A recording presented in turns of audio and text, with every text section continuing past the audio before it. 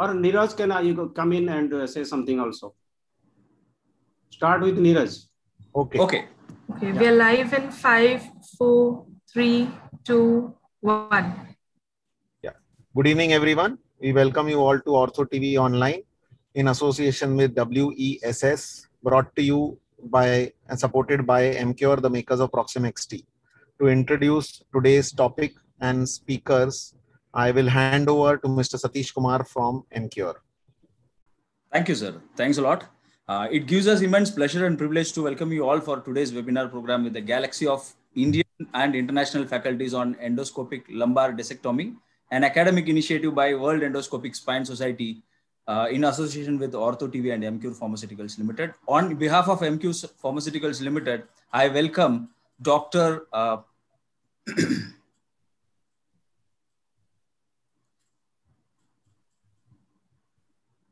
PC Dey, sir.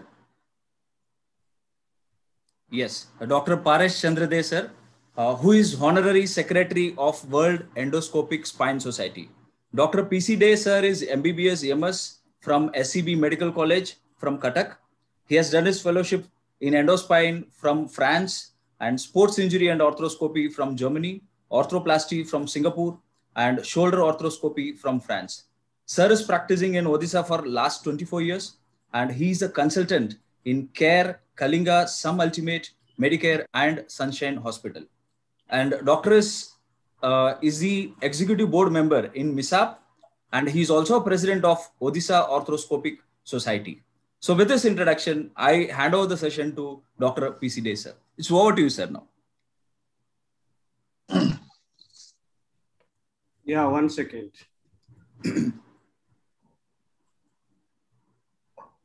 Can I see my screen? Yeah, okay.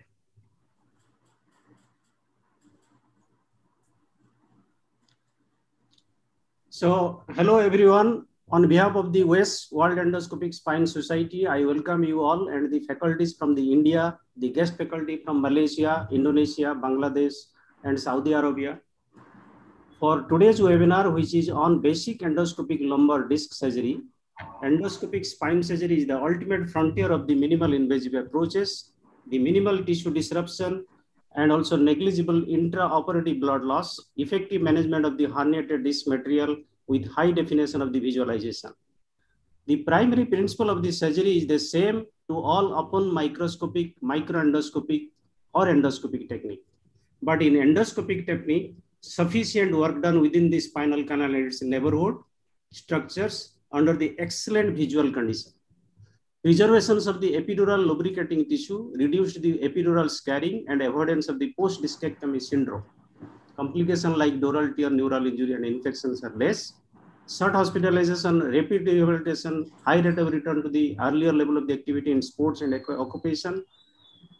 The senior most spine surgeon to young budding spine surgeon all prefers MIS because the youngsters are learning faster and the nobody could escape from the MIS because the patient acceptance and the public demand. We have few variety of the technique at present working in the world to deal with the disc and the stenosis surgery. Each one has its own pros and cons. The fixed tubular retractor with the microscopic technique, which is a fixed one. It is not a mobile like Destandau technique. It is very difficult to mobilize and uh, go to the opposite side sometime because of a severe stenosis. In obese patients also they face little of uh, difficulties. UBE is the unilateral biportal endoscopic technique.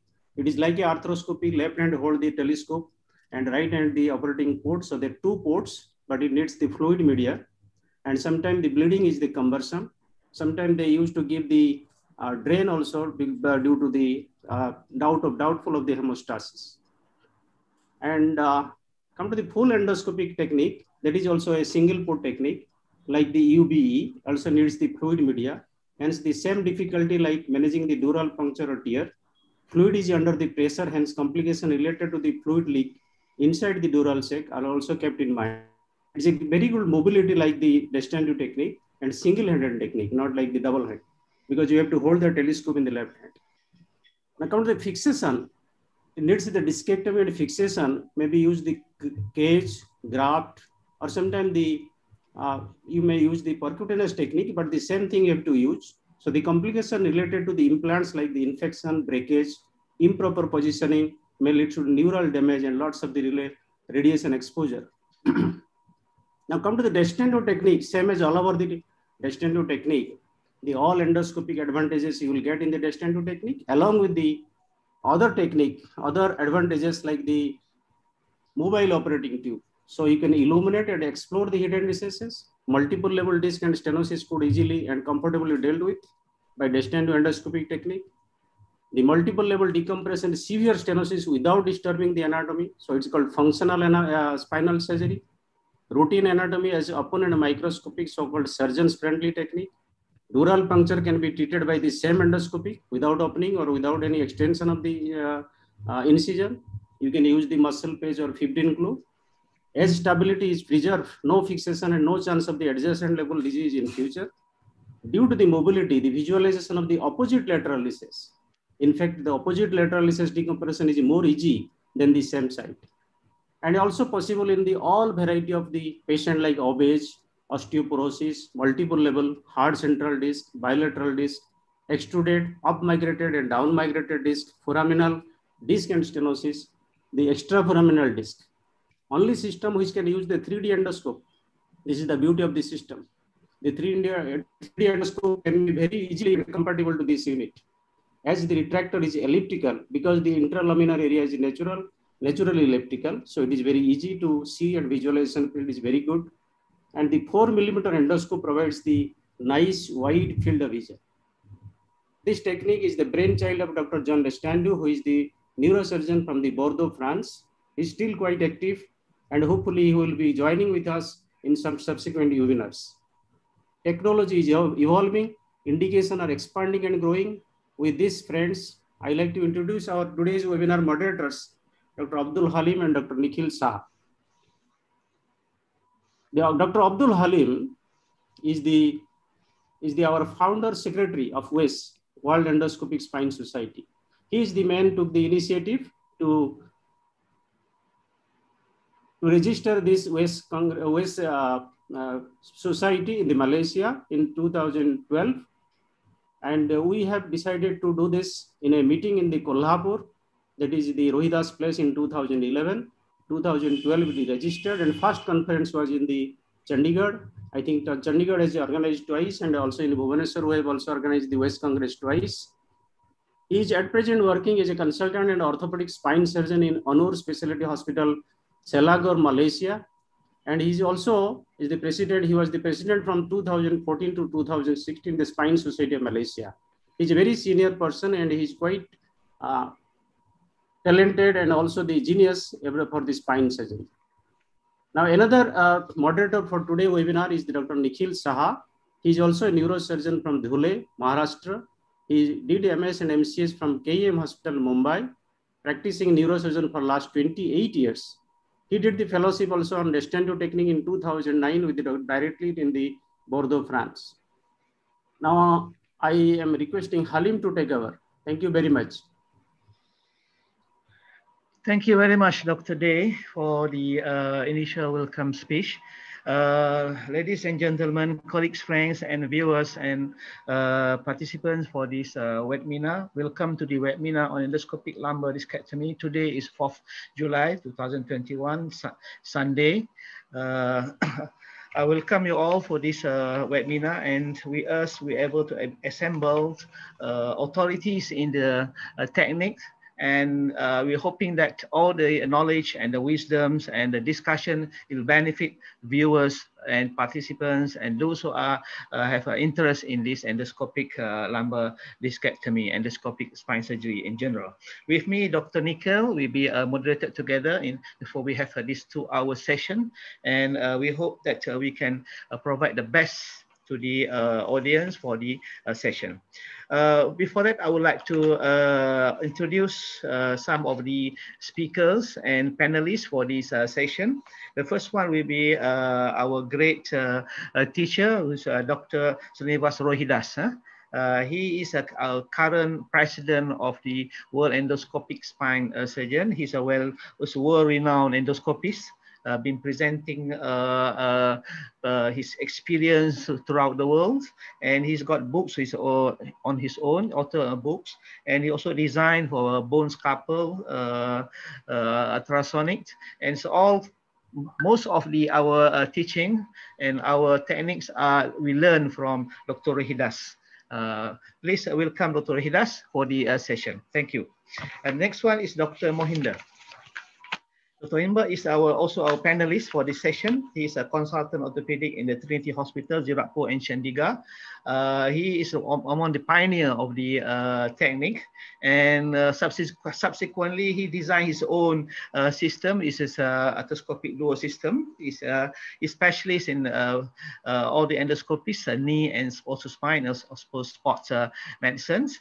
Uh, and he's the one who uh, uh, those very active in organizing teaching session, training session in hospital, in uh, Hospital. Please welcome Dr. Mohinder Kaushal. Thank you very much. Uh, the next one we present uh, our panelist is Dr. Monu Singh.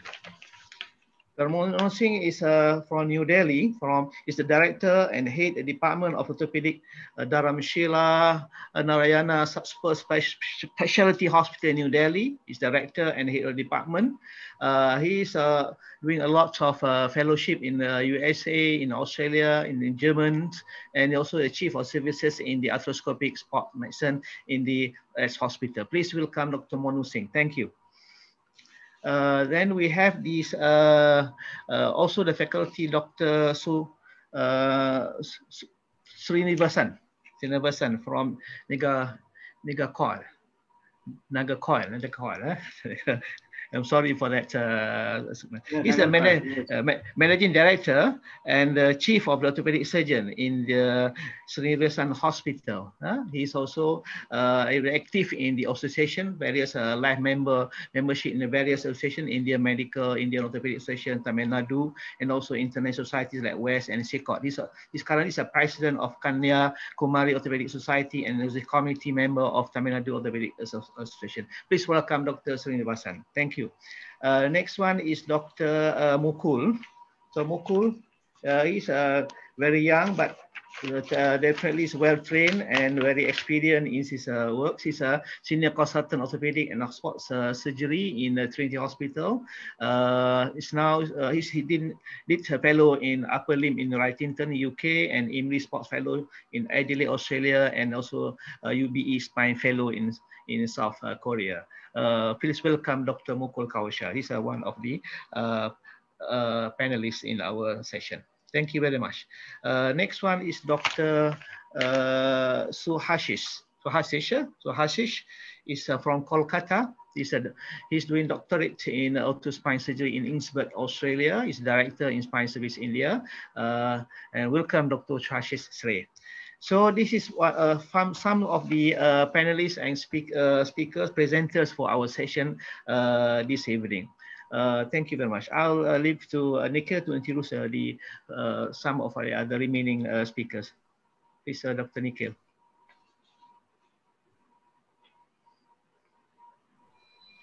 Hello, good evening. Mr. Satish, can I have the slide, please? Yes, sir.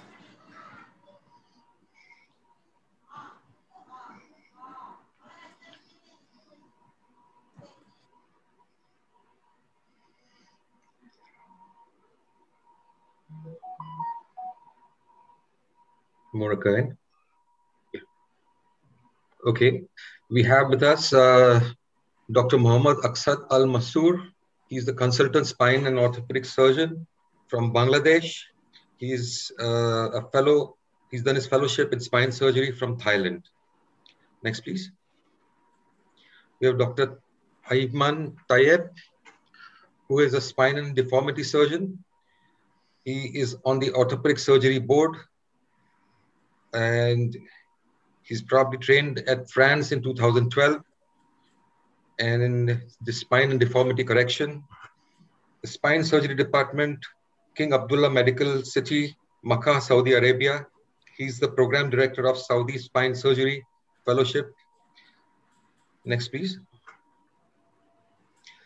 We have with us Dr. Ajid Risdianto.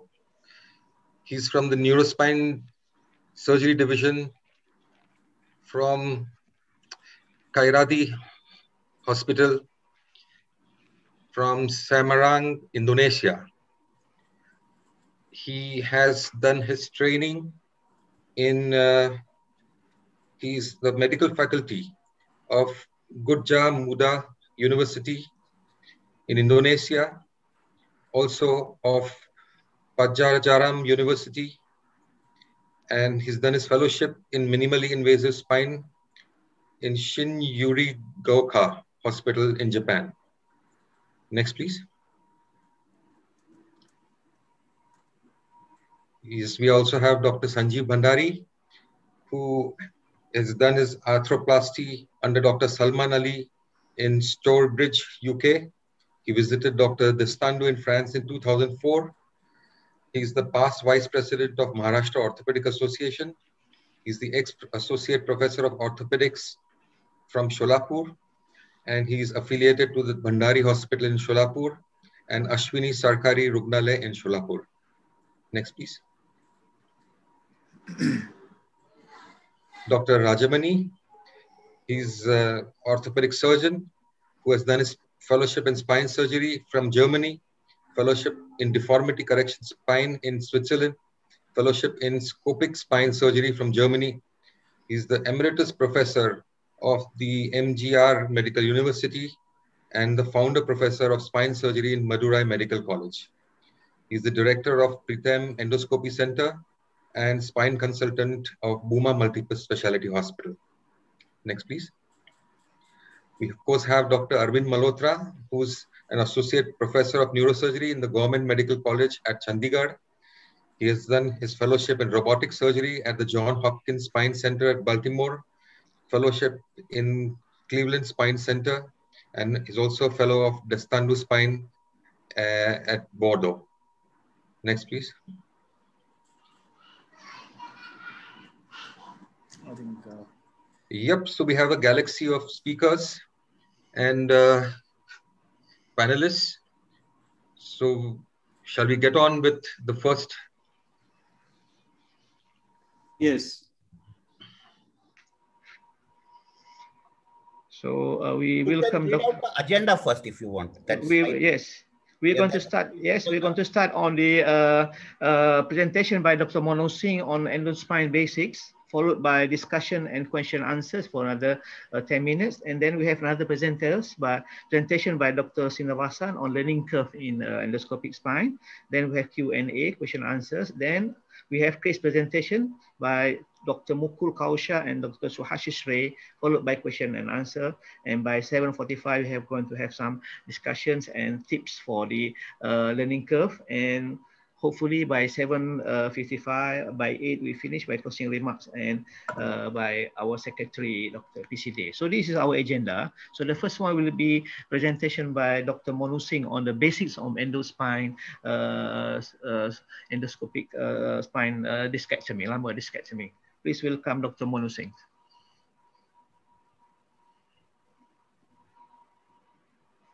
Please unmute, Dr. Monu. Thank you. Thank you so much, sir. I would, we are already uh, behind schedule, so I'll start with my presentation. Mr. Satish, I'm starting my share, uh, screen sharing. Satish unmute. Yeah. Yeah, please go ahead, sir. Yeah. So, are you able to see my uh, screen? Yes. Absolutely, sir. It Yes, is. yes, yes, Play, yes. play, Carry on. What- Yes. Play. Yeah. Play. So, uh, I would like to just follow, just uh, brief the audience about the basic principles which are there in the endoscopic spine surgery. And the, we are what today we are talking about the Destandau technique.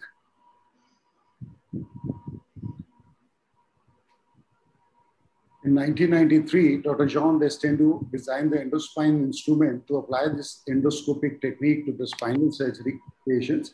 His system, it consists of an operating tube. Now, this tube is positioned on the lamina and it has a working insert inside and there are certain channels, four channels to be uh, precise. One is for the surgical instruments. one is for the telescope, one is for the suction cannula, and fourth one is for the nerve root retractor. Now, the two, the, the working channel and the telescope, they are at a constant angle of 12 degrees. So that the, this angle, it always enables the surgeon to see the tip of the instruments. And the suction tube is used as the second instrument whereby we are basically controlling the movement of the tube. So this endospine, this, this uh, uh, instrumentation, the zero degree telescope, it offers us a very wide field of vision of the operating area. There is no distortion and the light generated by the cold light source and transmitted to the endoscope via fiber optic cable, it gives us a very, very clear picture. It is virtually as if you are sitting inside the joint and sitting inside the spine and having a look. So it offers four essential advantages to us. Number one, it is a mobile, mobile operating tube. It enables the surgeon to illuminate and explore even the hidden recesses. You are able to produce images of them. You are able to reach the corners and to see and access the tissue within. The quality of vision is perfect. A 4 mm telescope, it gives us a vision with without any shadow or eclipse. There is a great amount of magnification which is associated with it. And it's a wide field, so you're practically sitting inside the spine. And because of this special design of the external sleeve and the working insert inside, the surgeon can permanently see the ends of the surgical instruments and the different anatomical structures. This provides us with a very with uh, much better control. The comfort of the surgeon increases because the visualization is so much better. And above all, it is it gives us an increased safety for the patient because you are actually able to see in a magnified form all the vital tissues and the structures. So in uh, performing an endoscopic discectomy with a, a Destandau system, it is no uh, mean thing. The learning curve here is quite long. You need to have an experience for uh, uh roughly about uh, uh, 72 cases to reach at least a 90% success rate. So that's no mean number. That's a, that's a very significant number. So one, if you want to give a good result to your patients, you need to have certain tips, tricks, and follow the basics of this spine surgery technique. So first of all, what you need to know is that you should be able to select the right patient for this. So if you have to start with these cases, you have to first go in for a patient who's suffering from root, root uh, irritation. So you need a patient who has unilateral symptoms where there is radiculopathy, specifically L45, L34, 45, S1, but it's easiest to go for the L45 region. And of course, it is preferred if you start with cases which are left-sided first because the system is designed such that we have to use our right hand. It is designed for a person who's right-handed naturally. So positioning of the, when we start off with this basic surgery, there are two ways that we can uh, uh, go. So positioning is basically dependent upon the surgeon, whether you want to have a prone position or a knee chest position, even though the surgery in a master hands does not take much long, maybe around 15 to 30 minutes at the most, but positioning in a knee chest position for a beginner might not be the wise thing to do initially, even though there are certain uh, uh, accessories to maintain this position, which Dr. Rohidas has devised and which are very comfortable for the patient. But effectively, for those who are starting off initially, prone position with uh, flexed hip and uh, uh, knees is a very good way to start with. So once you have decided to take up a patient, most important thing for us once the patient is under anesthesia is to know that we are approaching the correct level. We have to reach the correct level that we have decided to operate on. So for that, we take the help of the special uh, uh, uh, instrument that Dr. Destandau has devised under the C-arm. We have to be careful when we are doing L4, 5 and L5, S1 uh, regions because they can be approached, the two, these two particular uh, levels can be approached from the same incision which is placed dorsally. So it is sometimes possible for a beginner to uh, mistakenly go a level above or a level below starting from the same, same point. So one has to be careful. You have to mark uh, your levels very diligently. And there is this system which is uh, uh, which has been provided, the targeting device.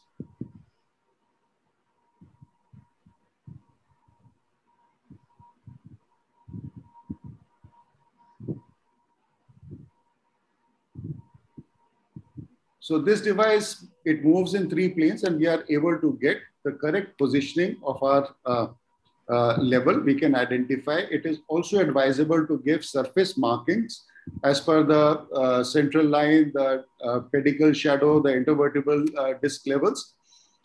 To understand the basic instruments, besides the chisel, there are two uh, rongeurs that we have to know about the 60 de degrees and the 90 degrees. Now, the 60 degrees rongeur is what we generally use when we are taking our bony clearance. And once we have reached the neural uh, uh, uh, structures and we are taking the ligamentum flavum, we, we are taking it out. That is the time when we are using the 90 degrees rongeur.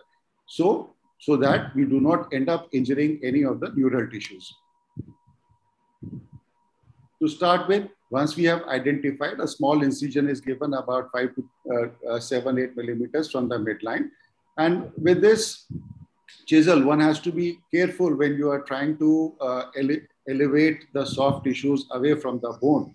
Uh, in, in old osteoporotic females, in sometimes may be possible with this sharp chisel to end up causing an injury. So be uh, a little gentle. Once we have identified the level, gone in, we put into small gauze patties, either a roller ball or a simple gauze into the cranial and the caudal part of the incision so that we can keep our soft tissues at bay. And the outer working tube with the cannula is then inserted, docked onto the lamina. And once we go in with our working insert, this is the picture that we would like to see. This is the superior lamina, the inferior lamina, the intervertebral, uh, uh, uh, the intervertebral space where we need to work. And this is the spinal lamina junction where we would like to start dissecting out for our discectomy. So visualization is the key what would happen to a newcomer or a new person in this uh, particular surgery is to get a read out field initially when you start. This is highly undesirable. Why? Because there is excessive bleeding. So how do you control all this excessive bleeding and the troublesome poos? You take a few measures. You check the pre-op coagulopathy of the patient, correct it. You ask for a hypotensive anesthesia. You keep the head slightly lower down than the operative level you must make sure that there is no pressure on the abdomen. You infiltrate pre-op, which is very important, with adrenaline solution onto the lamina with your needle. And you use gauze patties in the cranial, caudal, and the lateral direction to keep the soft tissue at bay. Keep the working channel a little short of the cannula tip so that you can see the rim of the cannula also so that your scope does not get soiled with the blood, right? So once you have gone in, so you can see the gauze patties which are there in the uh, cranial region and probably here it would be seen later. And this is the superior lamina. The gauze patty which is keeping the tissue there, the spinal lamina junction which is being palpated right now. Going on to the inferior lamina and you can see the gauze patty there. And this is our interlaminar space where we want to start working. The lateral boundary. And once you have defined your working space, you start dissecting from the spinal lamina junction. So one starts taking simple gradual bites from the spinal lamina junction, progressing either in a clockwise or an anti-clockwise direction, depending on which side you are operating. Try and keep the ligamentum flavum intact initially because that is the tissue which is giving you a protective sleeve protection against the neural structures. Once you have given, uh, gotten your uh, uh, bony clearance, you start teasing off your ligamentum flavum from the median raphe. Right? Gently, you with your dissector, you gently tease it out and you lift it, lift it gradually so that you can remove it. So this is ligamentum flavum, which has been, which is being teased out and now being uh, uh, lifted off. So here, once you are working below the ligamentum flavum, please remember to use a 90 degrees Kerrison rongeur. Sometimes when the space is tight, it is also advisable to just put in a gauze patty or a, a small uh, protection for your neural structures.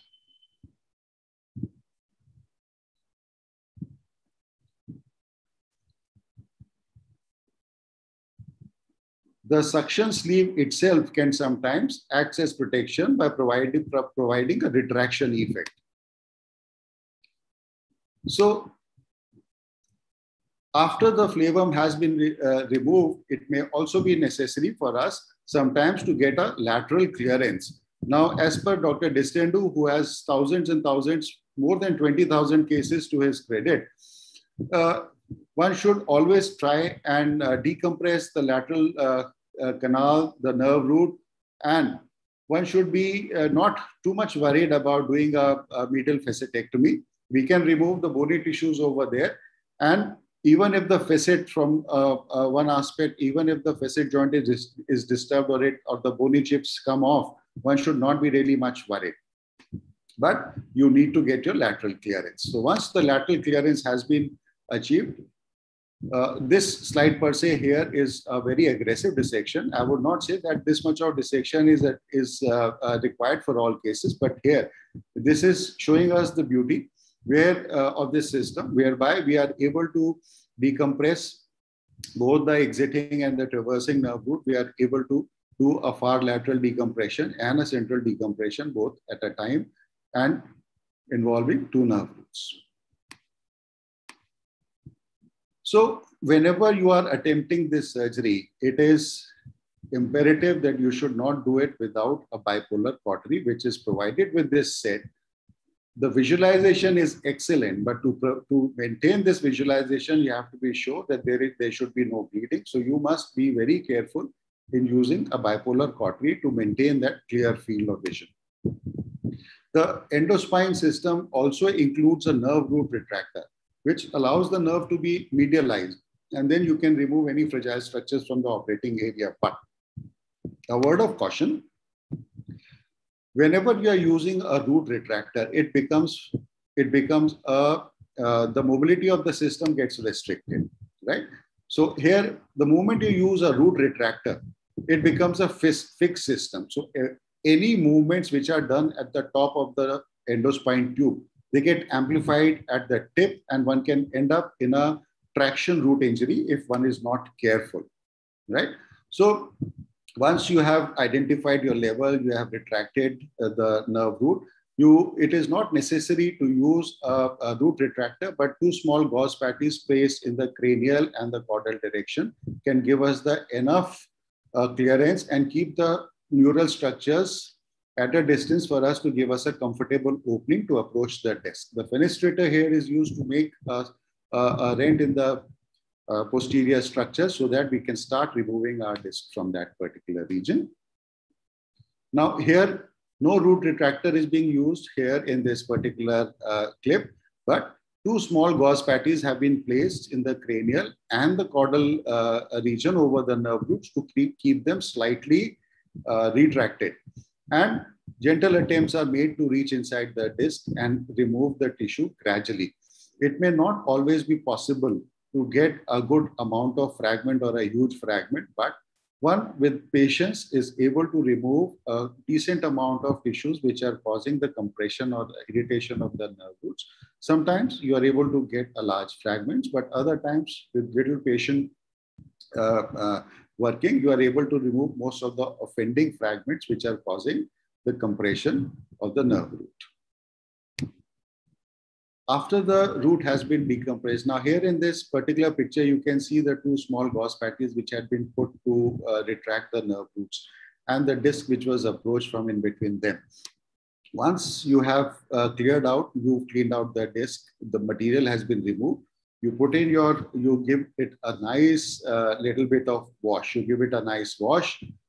Any loose fragments which are present there inside, they should be taken out you should palpate for uh, uh, in the recesses underneath the uh, neural tube around the root structures for any loose missing fragments which may be there. And uh, a small uh, ball tip probe, which has been devised by Dr. Kaushal, is a very wonderful and useful accessory for that, which one can make use of.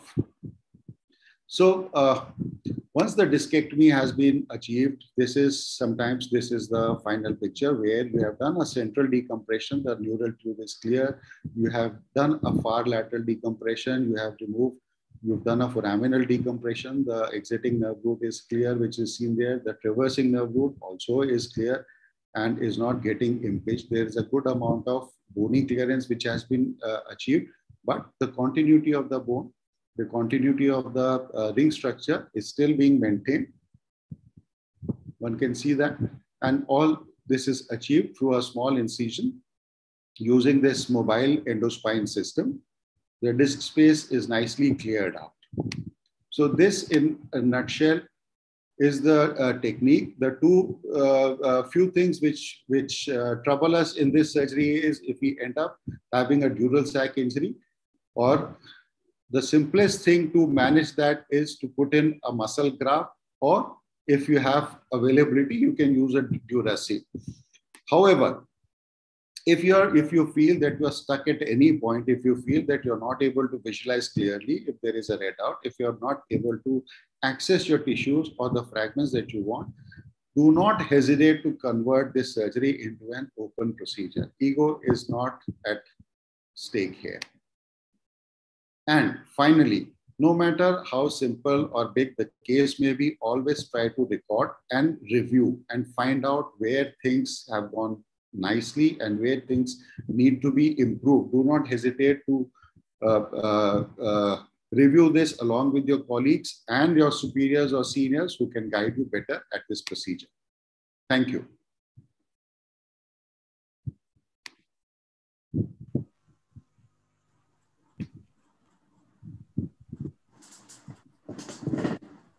Halim, unmute. Unmute. Thank you, Dr. Monu, for your uh, excellent presentation. We have a, a, slot for a question answer. If anybody uh, raise a questions for Dr. Monu. Ajid, please. Ajid, Dr. Halim. Uh, to Ajid. Can I? Uh, yes, yeah. yes, please, please, Ajid. Thank you, Dr. Halim. Very nice presentation, Dr. Monu. Uh, for the lateral clearance, do you have any tips to to to to get uh, enough lateral clearance? Because sometimes we, we do some to less decompression, so it it is difficult for us to get the pathology pathology side. But sometimes we, we do too much decompression that make facet unstable.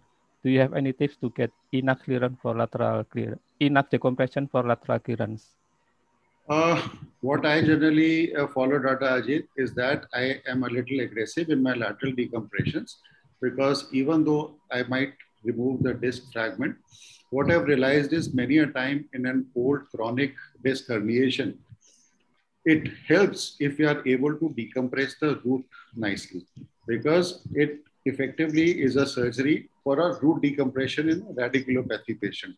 And uh, undercutting the facets and removing even one third of the uh, medial facet is not a problem. It can easily be obtained and one should be able to see the root going out clearly, remove the tissues around it. But yes, one has to be a little careful because that is the particular region where you will find your leash of uh, veins. And before you attempt any aggressive undercutting, it is always better to identify and coagulate those uh, uh, venous, those uh, uh, small vessels which are invariably present in that particular uh, region. Okay, Dr. Bhandari, you want to comment on this? Yeah, yeah. One thing I want to say, in the beginning, uh, really with these uh, and sometimes the uh, when the lateral uh, part is quite thick, it uh, really becomes sometimes very difficult to remove that. So nowadays, I have seen uh, Dr. Rohidas and everybody using buzz to thin out the bone and probably that reduces the surgical time very easy removal with the thing and uh, of course after certain days when you have really learned the technique nicely i think this bone burrs uh, can really help to reduce the thickness of the lamina especially laterally near the facet. And so removal of the uh, lateral decompression becomes really easier with this burrs. You're absolutely right sir. Uh, point here is that when these the rongeurs that we're using with the Destandau system, they're they're they are soft steel, and in uh, large hypertrophied facet joints, if we are not careful and trying to take a huge bite, they end up making the edges jagged. And once the edges are jagged, we can end up having a dural injury also. Yeah. So it's always a valid point. It is actually now the preferred technique to do a reduction plasty of the facet joints before before we start uh, nibbling at them with our rongeurs. And uh, a simple burr, either a diamond burr or even an arthroscopic shaver burr, it works very well. And Dr. Rohidas has uh, shown us in so many cases. Yeah, yeah, And yeah. It's a very valid. Uh, uh, uh, it's a very valid tip, sir. Thank you. Uh, as per me, it's a lateral recess stenosis. You have to assess uh, before surgery in the X-ray. And if you are having a patient of the younger patient, I think no need to so much worried about the lateral recess uh, decompression. If it's a elderly patient, uh, definitely there will be some lateral stenosis. You can assess very well in the and assess yourself how much to bone is to remove. And what we are doing nowadays, using regularly the bars, the Midas or uh, whatever the bar, maybe sometimes the saver bar also and that uh, initially during the start thinned out the bone from the superior lamina and also little bit of the aspect how much maybe one third of the uh, patient and if you are not satisfied after the suppose you are already in now and you want to uh, not able to find out the lateral aspect of the dural tube or the nerve root then you put a petty and side cranially at the shoulder of the nerve root and if you are able to uh, see the lateral recess, then gradually you can use again of the bar again. Or maybe uh, if uh, your mouth of the Kerrison punch is quite big enough to cut, uh, hold it, it is better. Otherwise, you uh, thinned out the bone little bit more using the bar and then go gradually inferior cranial to caudal up to the foramen and decompress up to the foramen is a necessity. That is the when you will feel the MC, the nerve root is totally in front of you, then you leave it. Okay, I think we uh, we have to move on, Dr. Bhandari, for because we are out of time. Okay. Uh, probably, uh, I don't know whether it was included in your talk or not, but uh, you have not uh, talked about the opposite side decompression or going over the top of the dura. In- That's, that, that is not, that is not part of the basic thing, sir. That is for the It's a- advanced. uh, uh, yeah, sorry, sorry to Maybe- interrupt. for- should for be a the- separate webinar. this this We will have a series of webinar. This today will be the only discectomy and unilateral. Okay, okay, okay. Now we, I think we, we short of time. We move to next presentation by Dr. Srinivasan on the learning curve. Dr. Srinivasan, uh, Uh, please. good evening, sir. Good evening, sir.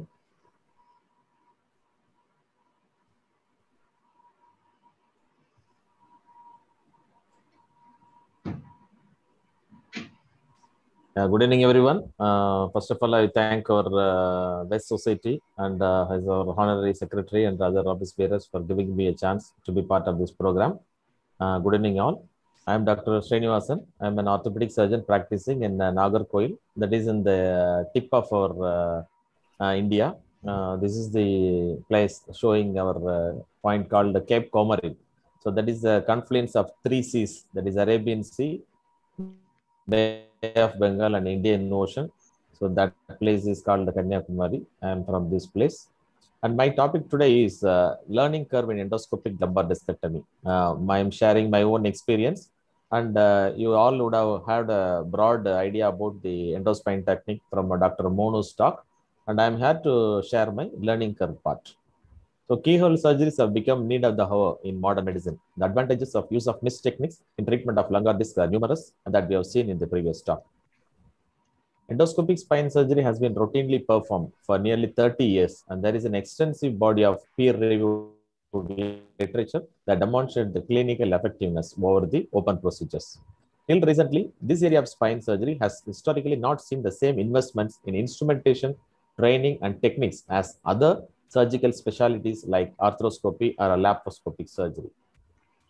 And navigating the learning curve is a critical part of the process of adopting this endoscopic technique when one wants to change from a open to an endoscopic thing. So a thoughtful plan for sequential acquisition of endoscopic skill is very important. Appropriately graduated technical difficulty of cases increases the likelihood of success and especially surgeons who are already uh, acquainted with the uh, endoscopic procedure like doing an arthroscopy will be an added advantage to progress.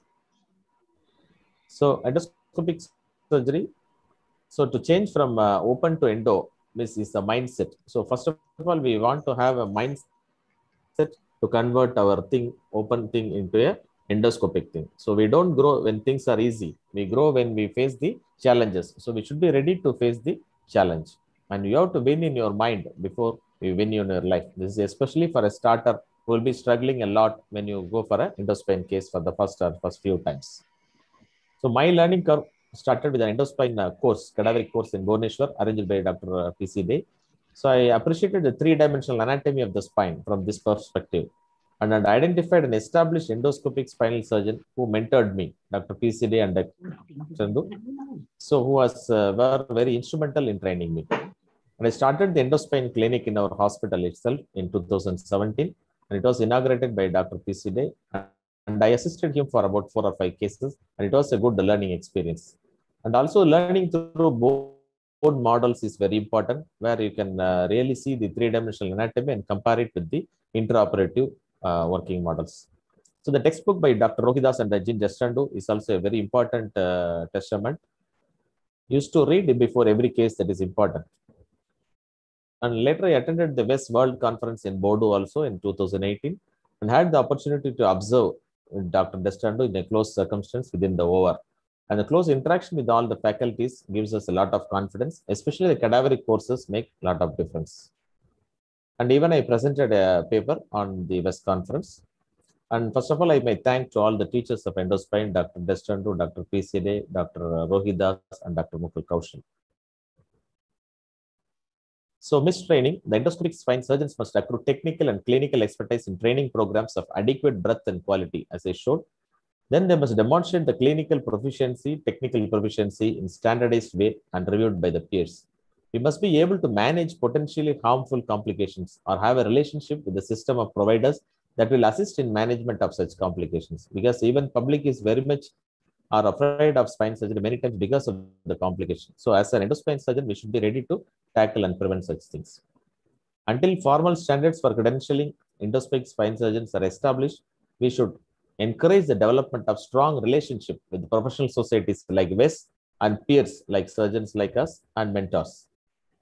My suggestions for the learners would be uh, do proper selection of cases. And Non-indicated and vague cases may be avoided initially and do simple single level cases initially. Try to avoid major complications to go ahead with your learning curve. You should not be stuck in between.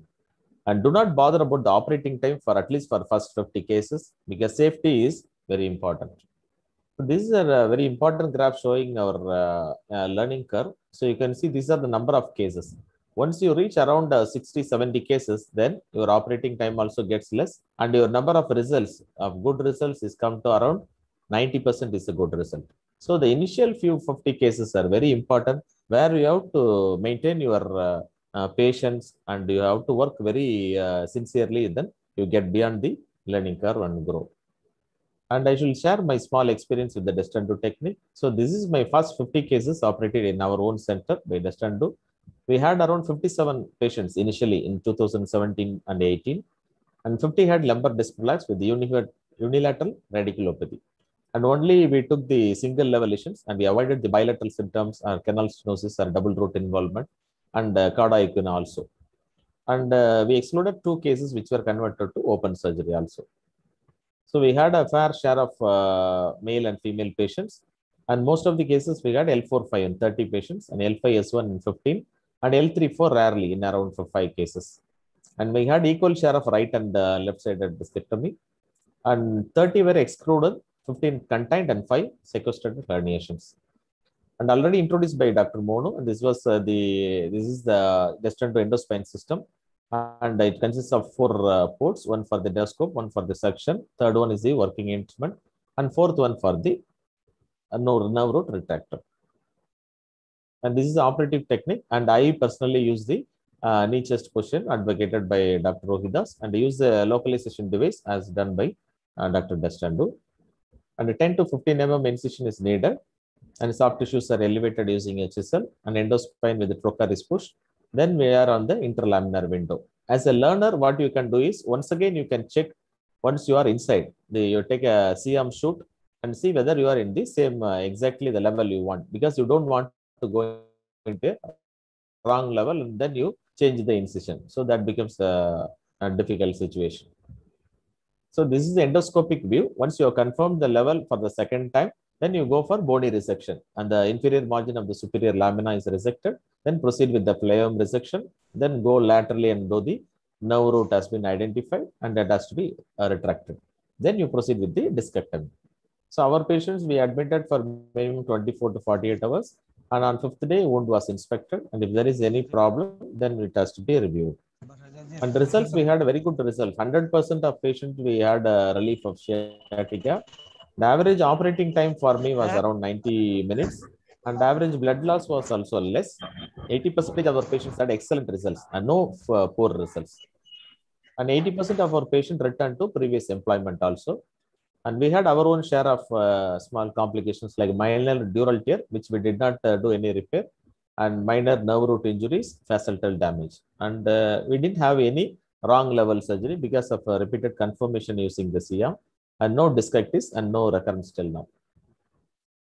And these are the complications they told. So the minor dural tear were managed by water tight closure and muscle patch.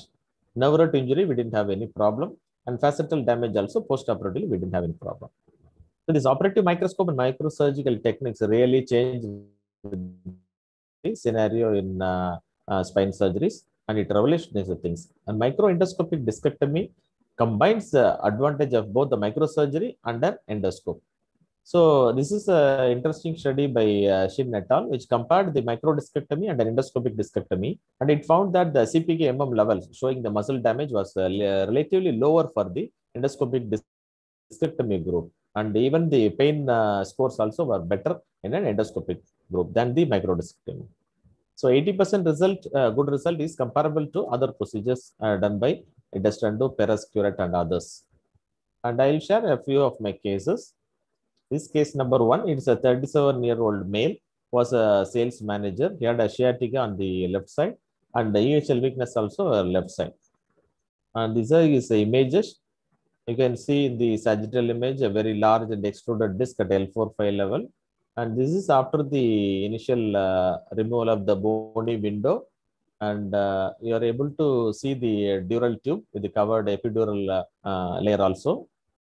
This is not, there is not much of active bleeding. And always it is better to have a hypotensive anesthesia. We have to have a very good uh, rapport with your anesthetist. And, uh, it should reduce the epidural bleeding. And your chest, knee chest position also is important. And uh, once we are removing the extruded disc, you can see the uh, compression is relieved. This is another case, 34-year-old male, an auto driver by occupation, was having a right side sciatica, again not relieved by conservative treatment. These are his images showing a very big uh, extruded disc at L4-5 level. And opening the uh, bony window, we are able to straight away, we are landing upon the extruded fragment. So it was very um, uh, difficult. And once you uh, are able to see the fragment clearly, then you have to slowly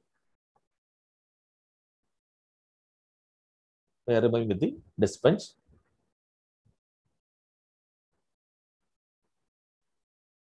Yeah, once we have removed, we are able to actually exactly see the axilla of the disc here. You can see the axilla part of the disc.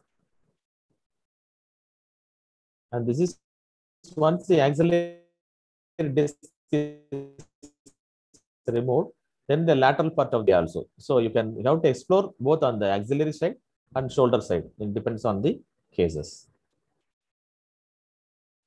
This is a, case number three or a 40 year old male. Again, same uh, problem, right leg sciatica, severe spasm was present.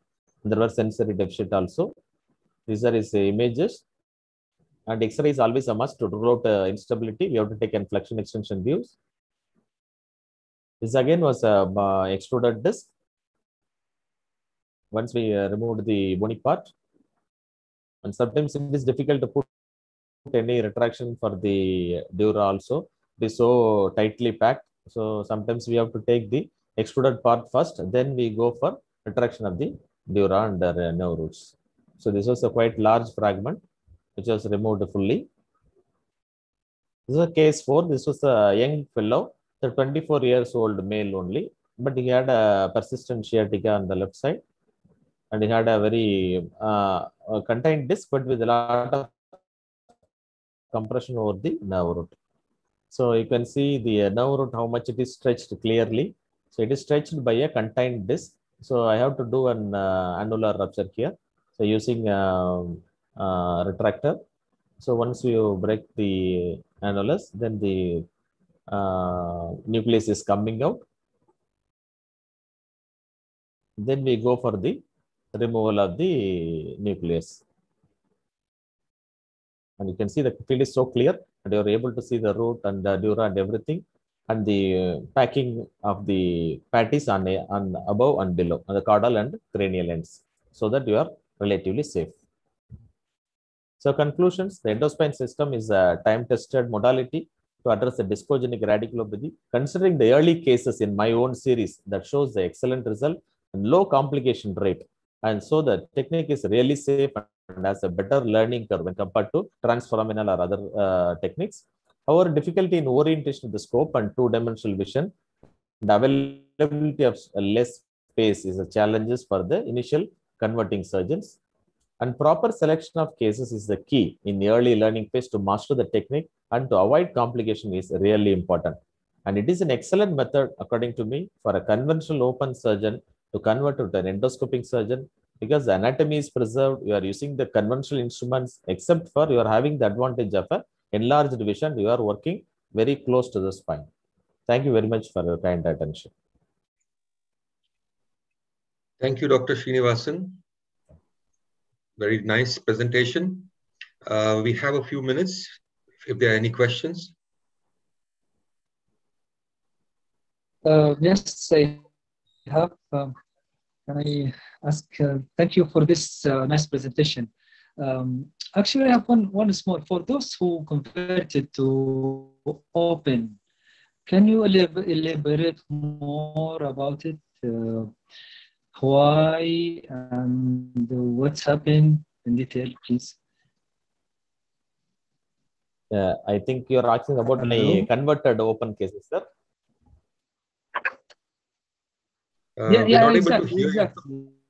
Exactly. Yeah, it was in the initial uh, first uh, few It's very interesting, actually, especially. where the we had a, uh difficulty uh, where we had difficulty in identifying the bony landmarks and uh, I was uh, really in the, um, uh, missed the landmarks. So all due to the initial uh, learning problems. So uh, once it crossed the 60 or 90 minutes, then that uh, I was uh, planning to go for uh, open surgery and there was actually no complication because of my uh, learning process. I could not get that.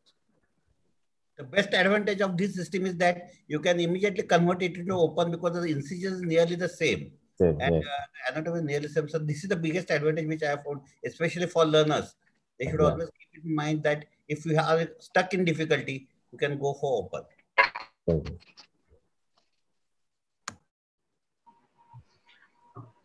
Well, if there are no more questions, then uh, may I request Dr. Mukul Kaushal to present his case? Good evening, everybody. Uh, thank you. I would like to thank World Endoscopic Spine Society for providing me a platform to present this case. And uh, I hope my screen is visible. Yes, go ahead. Uh, so, uh, so I have nothing to disclose uh, about this case. Uh, a brief history and physical about the patient. She's a 50-year-old female. She's a farmer. She had complained of on and off backache with right leg discomfort uh, since the past five years, with worsening left leg pain since the past six months. Her straight leg uh, raise uh, uh, was about 70 degrees on the right side and about 60 degree on the left side. She was clinically able to tiptoe, walk, and heel walk, but she required a bit of support. Uh, uh, bilaterally, her S1 jerks were mute and her knee jerks were reduced. The patient was self-voiding. There were no perianal symptoms and her distal pulses were intact.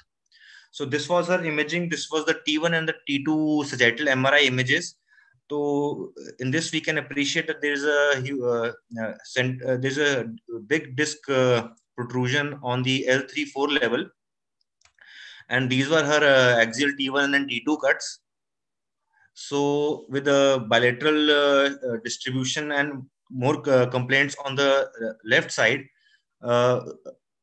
we had, and because of almost symptoms since the past five to six years, we formed a diagnosis of a calcified lumbar disc and uh, the calcified lumbar disc in itself is a very difficult entity. Uh, there are uh, various schools of thoughts which advocate either you can remove the calcification and the uh, disc uh, disc uh, to deca- to remove the neural compression, or you can just perform a plain decompression where you just preserve the disc and remove everything around. But the pros and cons are that if we are planning to remove a calcified disc, it entails uh, more amount of neural retraction. There is an increased risk of uh, injuring the dura and the nerve root. And maybe if we are uh, disturbing a stable uh, calcified uh, disc complex, uh, could we be contributing to back pain in the post-operative period? And there would be an element of recurrence if we are removing a calcified disc. But in, if we compare it with a plain decompression procedure in such cases, where we are just preserving the disc and removing everything around circumferentially, that is the uh, ligamentum flavum and the, the, bilateral medial facets to decompress uh, everything uh, dorsally around the disc. So in that case, uh, maybe the adequacy of uh, decompression might be questionable. So uh, I went through the literature and I could only find one article where they had done decompression for such calcific disc herniations in which they had 37 patients with the age range of about 60, 60 years ranging between uh, plus and minus nine, nine years. They calculated the visual analog score, the Oswestry disability index, and modified Macnab at three months and one year. And uh, both uh, the visual analog score and the ODS scores, they were quite better. Almost 94 patients had an excellent or good uh, outcomes at three months. And there was no recurrence at one year follow-up. In all these cases, only a, a simple decompression was done uh, without uh, any attempt at removing the calcified disc fragment. So on this uh, basis, on this study, I decided to uh, uh, plan an arthrospine duo assisted endoscopic interlaminar discectomy at the L3-4 level with plus minus uh, discectomy on the affected side. So this was the endoscopic uh, picture. Uh, the patient was prone on bolsters. We did it under spinal anesthesia. and the uh, 9 o'clock is the cranial side, the 6 o'clock is the facet side. These were the initial bone bites after removing the laminot after creating a laminotomy on my side this is uh, while preserving the ligamentum flavum this is the removal of the uh, medial facet part of the medial facet. After removing the flavum from the midline there is a glimpse of the dura that can be appreciated. Now i'm trying to put in a patty between, between the ligamentum flavum and trying to use the Penfield dissector to detach the ligamentum flavum on the opposite side also. And after removing the ligamentum flavum on the opposite side, we can also appreciate the amount of uh, medial facet hypertrophy on the opposite side.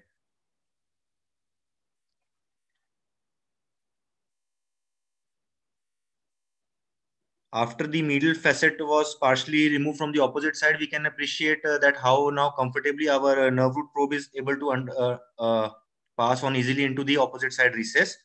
And for opposite side decompression, sometimes uh, we tend to uh, use the advantage of saline also so that we can advance our scope and we can appreciate the opposite side nerve root also there and along with all the scar tissue which is very quite with a lot of fibrosis and adhesions to the nerve root now doing the ipsilateral side uh, recess decompression here we can see the, the amount of uh, the how how this calcified disc appears it is quite hard it is quite stable there is no annular rent we are trying to uh, probe it with our uh, ball tip probe.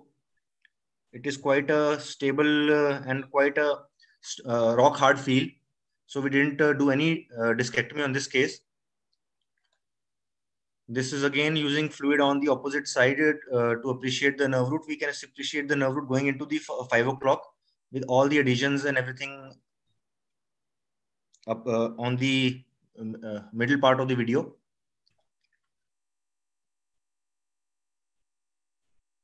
And this is how the final picture looks, where the dura and both the recesses are decompressed. This case was just done recently, and uh, this is I'm sharing the clinical video of the patient. Uh, she's a farmer and she's back to her fields though she's not uh, resumed her heavy laborious activities but she's quite comfortable. Her uh, radicular discomfort has settled and she's now walking quite comfortably. So in cases of calcified lumbar disc uh, i feel that decompression also appears to be a reasonable option and discectomy in a calcified disc uh, may entail more risk of neural handling and in such cases it is important to counsel the patient uh, about uh, if we perform a decompression, we have to counsel them that uh, the residual disc uh, bulge may appear on the post-operative MRI, but uh, in view of the neural decompression achieved, there should be resolution of symptoms. So thank you very much for your patient listening. Thank you, Dr. Mukul, for excellent presentations. That's uh, nice.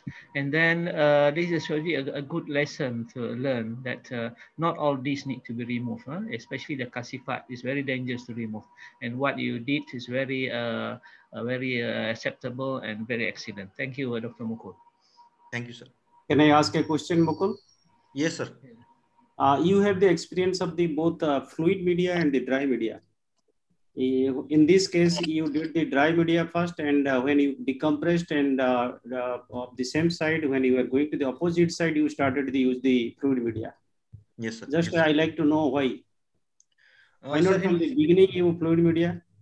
Uh, sir, because uh, once uh, while going through the literature, when we are using uh, saline endoscopy for our endoscopic uh, discectomies and decompressions, there have been a lot of case reports where secondary to uh, use of fluid, there have been uh, more bleeding incidences. Once we expose the uh, ligament once we have removed the ligamentum flavum there is a theoretical risk that we might be increasing epidural pressures because of the continuous uh, fluid inflow which might uh, cause problems in form of long segment hematomas or it might cause uh, uh, high neural lesions also which may manifest as post-operative blindness or temporary loss of blindness or neck pain in the post-operative period. So to cut short, uh, cut short the amount of fluid usage, we uh, usually tend to initially start our work in a dry mode, do our ipsilateral bony decompression, ipsilateral uh, uh, uh, decompression.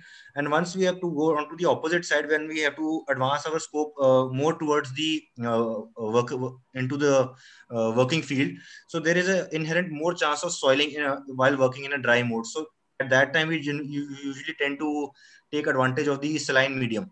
So we are uh, getting both of the uh, we are getting best of both worlds. We are uh, minimizing our fluid uh, use also and we are using only saline when we need to go on to the opposite side uh, uh, and also minimize our scope soiling risks sir.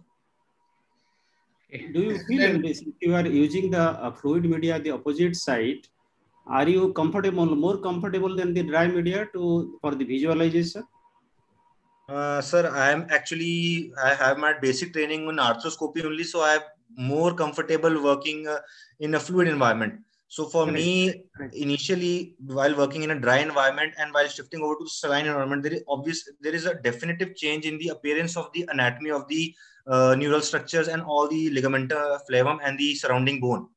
So getting used to initially to the change in anatomy was a bit of a hassle, but uh, now uh, considering having experienced both dry and wet endoscopy, I am comfortable working in both uh, uh fields, sir.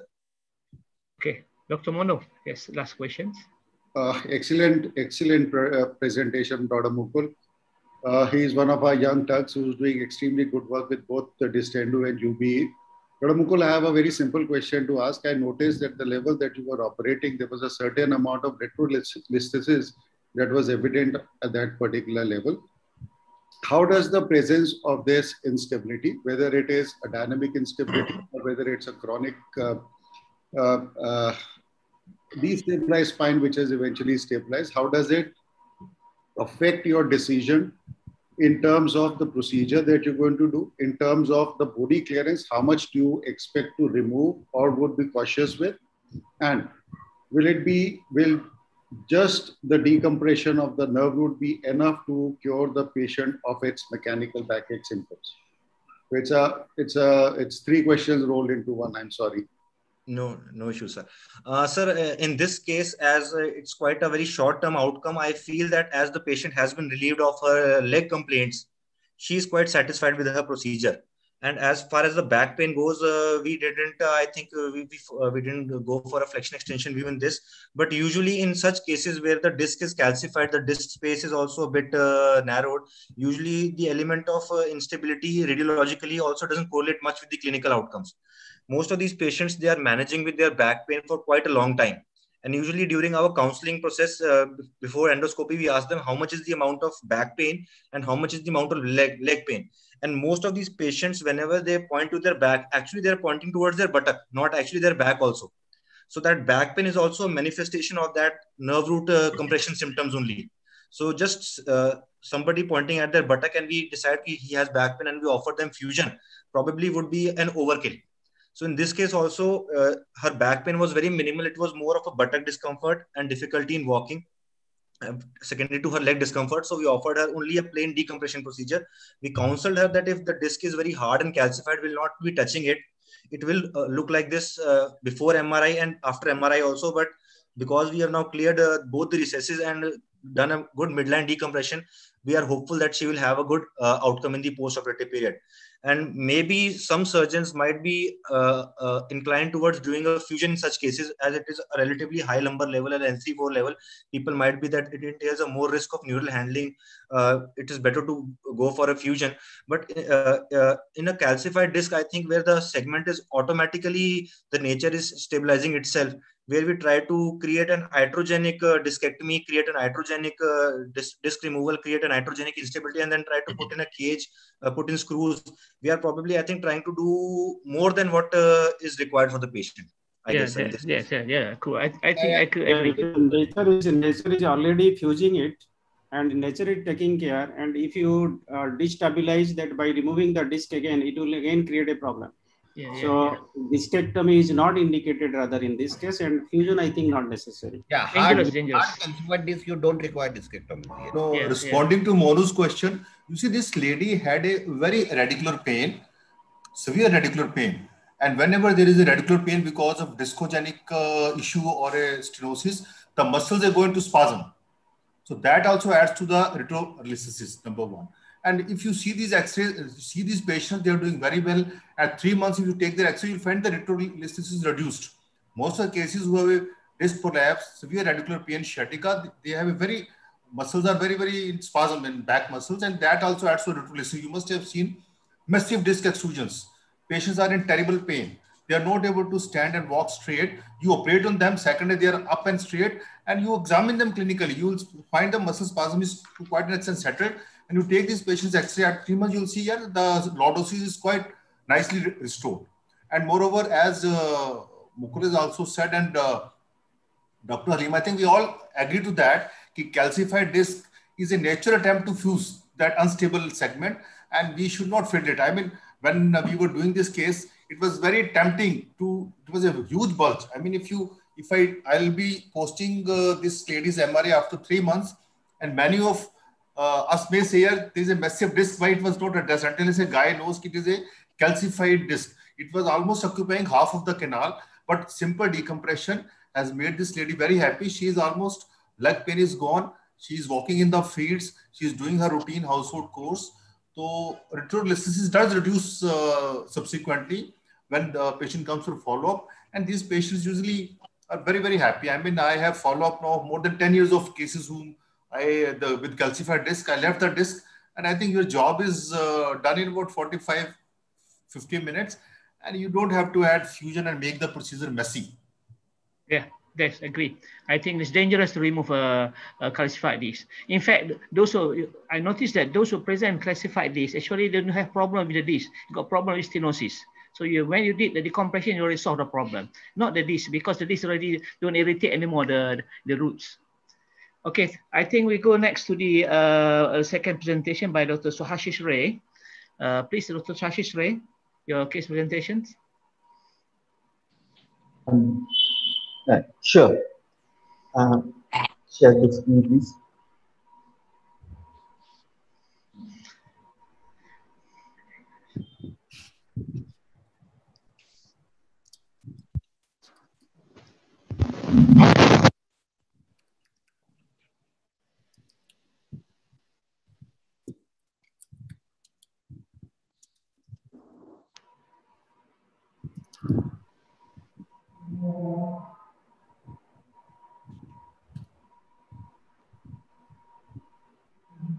Can you view my screen? Yeah, Yes. yes. Okay. Make it full screen. Yeah, sure. Slideshow. Double click on the slide. Yeah. Yeah. Uh, is it okay? Yes, yes. Go ahead. Uh, yeah, yeah, uh, yeah. Thank you. I am not very savvy with text. okay. Very good. So this is the patient details regarding the first case.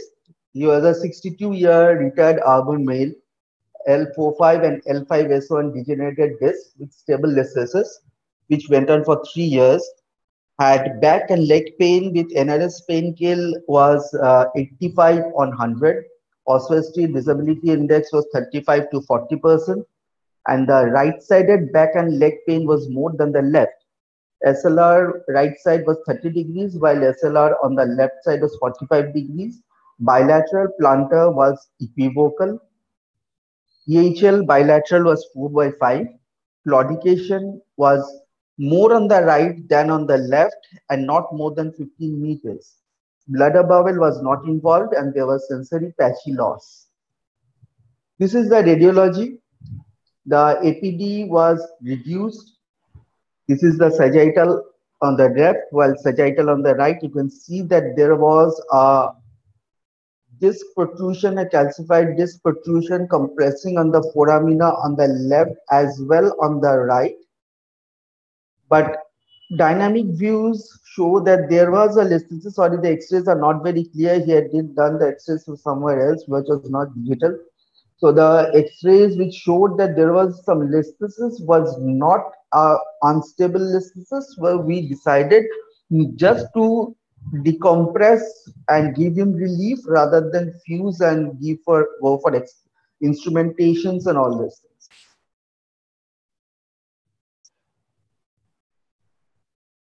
This is the perioperative video. Perioperative video, please.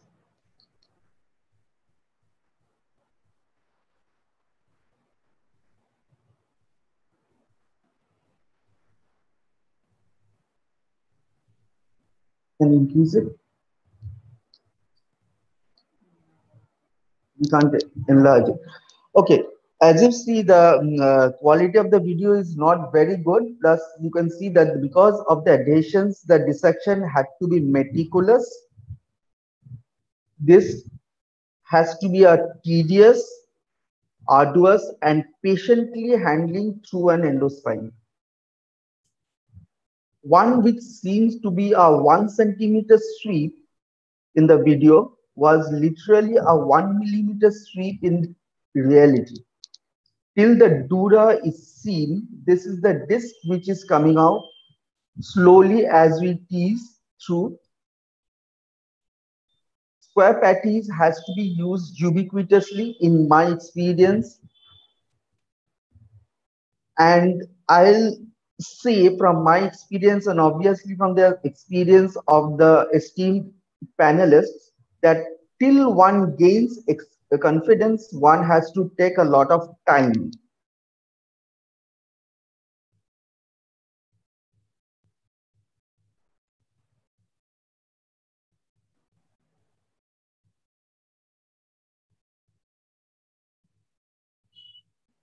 The disc has to be taken out very slowly and after the disc is removed, probing has to be very meticulous to see if there are any fragments there, as well as very, there must be a lot of washing to see whether any fragments come out. Post-operative video.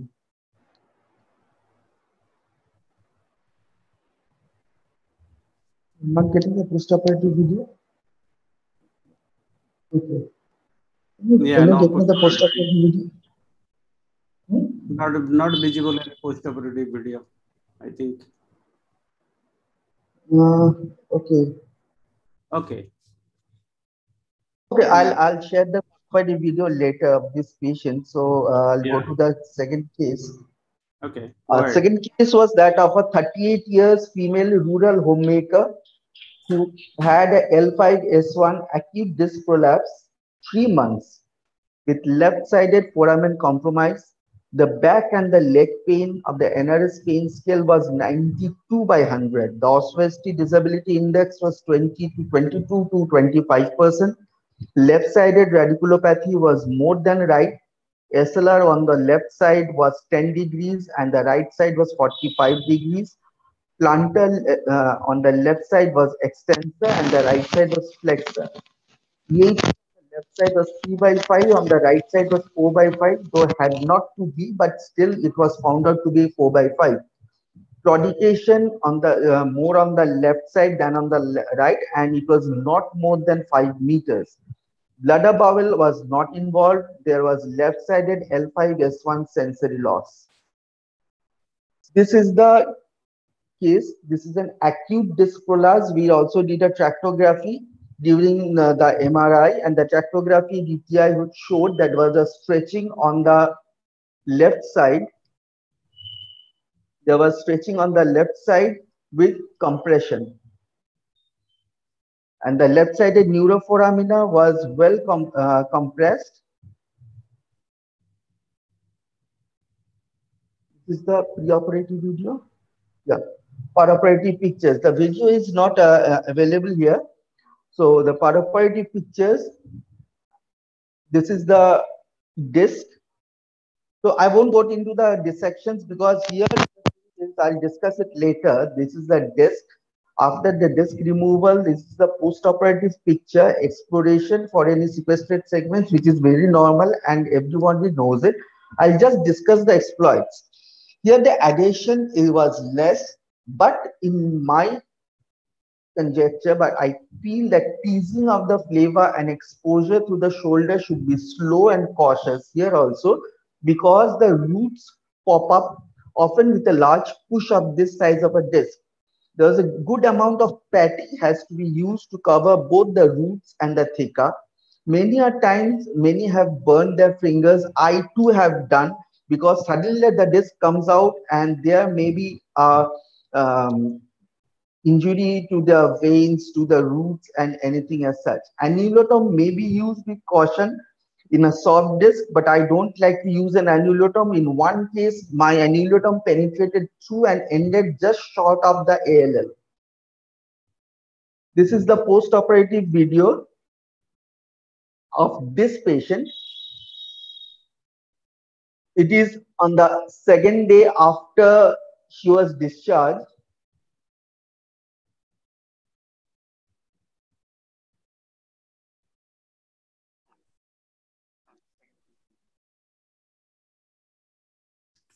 Mm.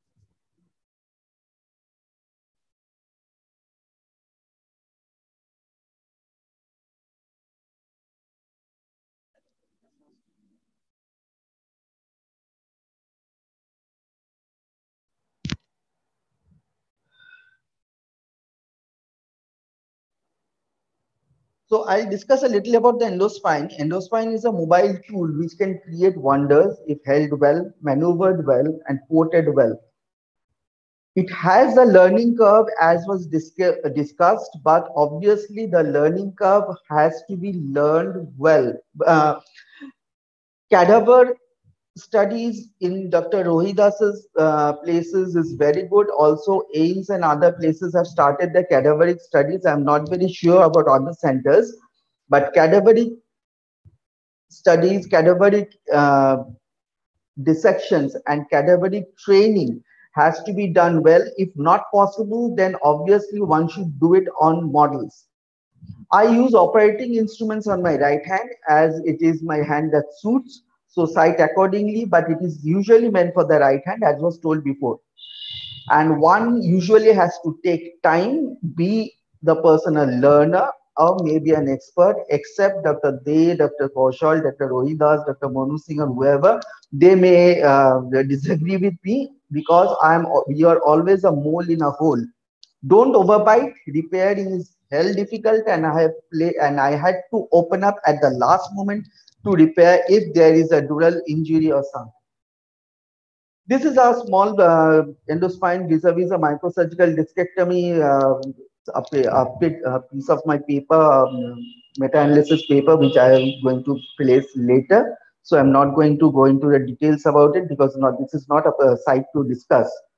And th thank you. It's a courtesy from the Spine Services India. I am very sorry because I could not give you the uh, video, but I'll try if I if it's possible to get the video of the first post-operative patient. If it's possible, I'll ask permission and uh, post you and uh, give you the video. I'll post or post it in the forum. Thank you.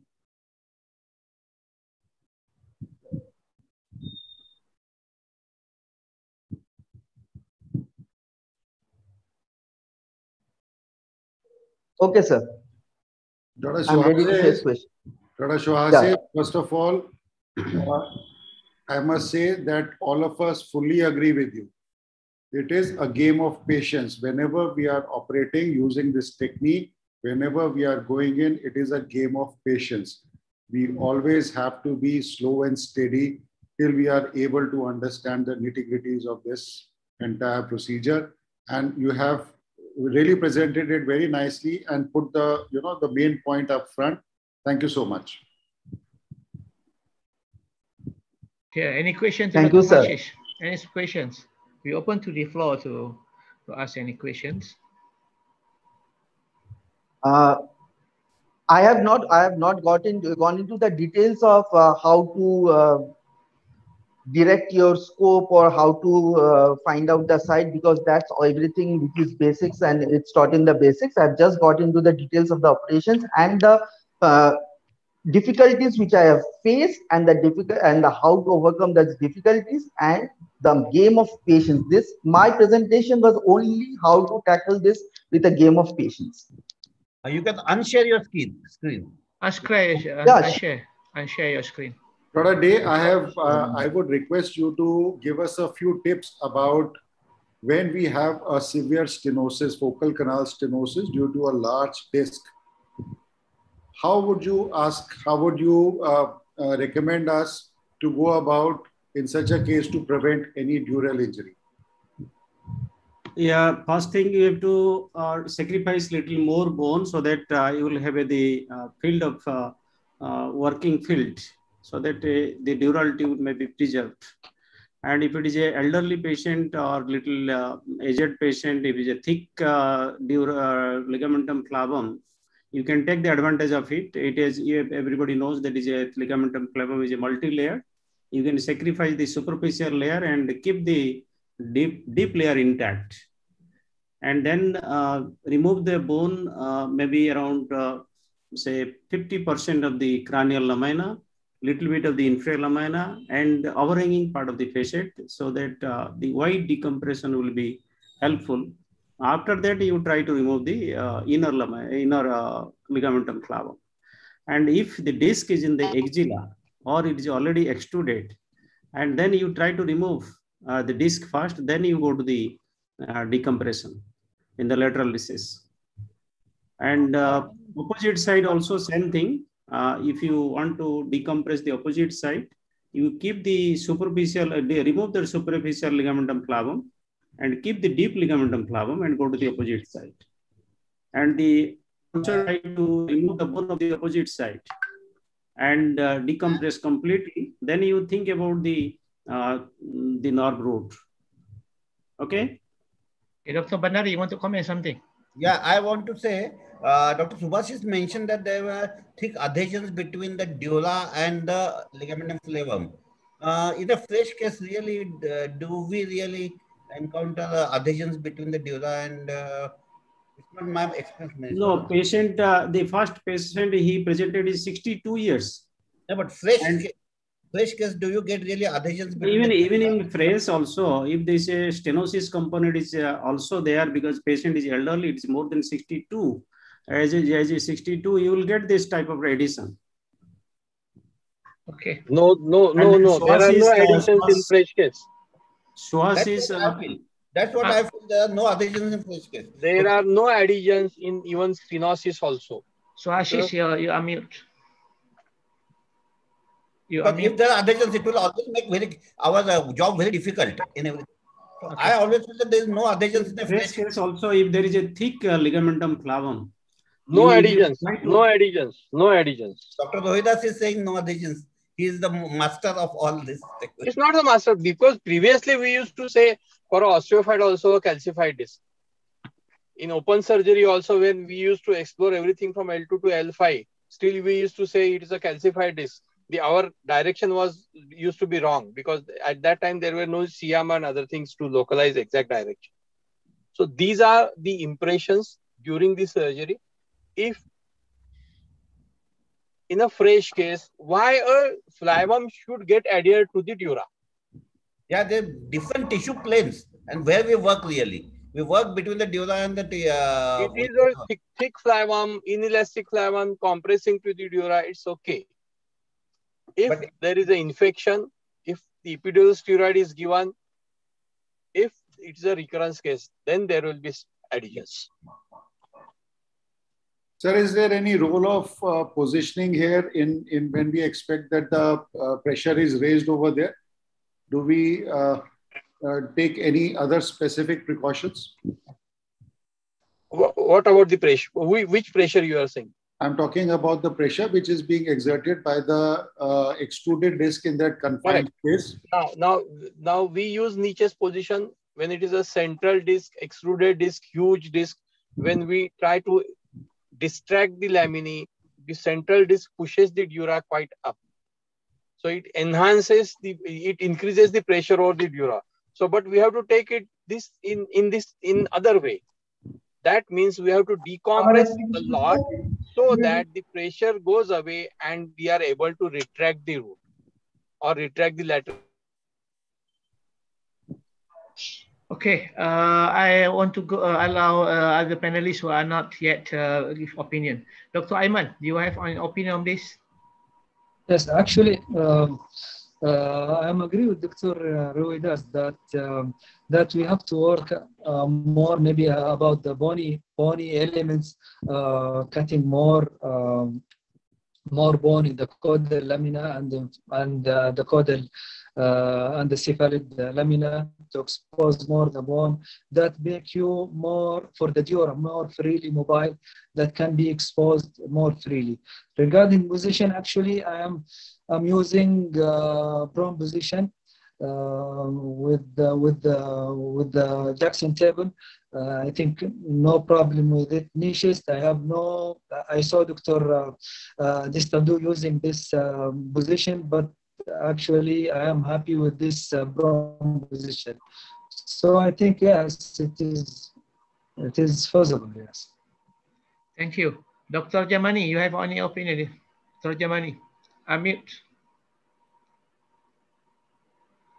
Please unmute. Unmute. Unmute. Dr. Jamani, unmute your, your, your computer. Unmute. Unmute your, get your sound. Dr. Jamani. Dr. Rajamani, you have to unmute. You have to unmute to talk. He's not there, I think. In the left, uh, No, no, he- he's there. Rajamani is there. In the uh, left hand side, left hand side down. Unmute. Dr. Rajamani, Dr. Rajamani, please. You have to unmute yourself. Left hand lower corner.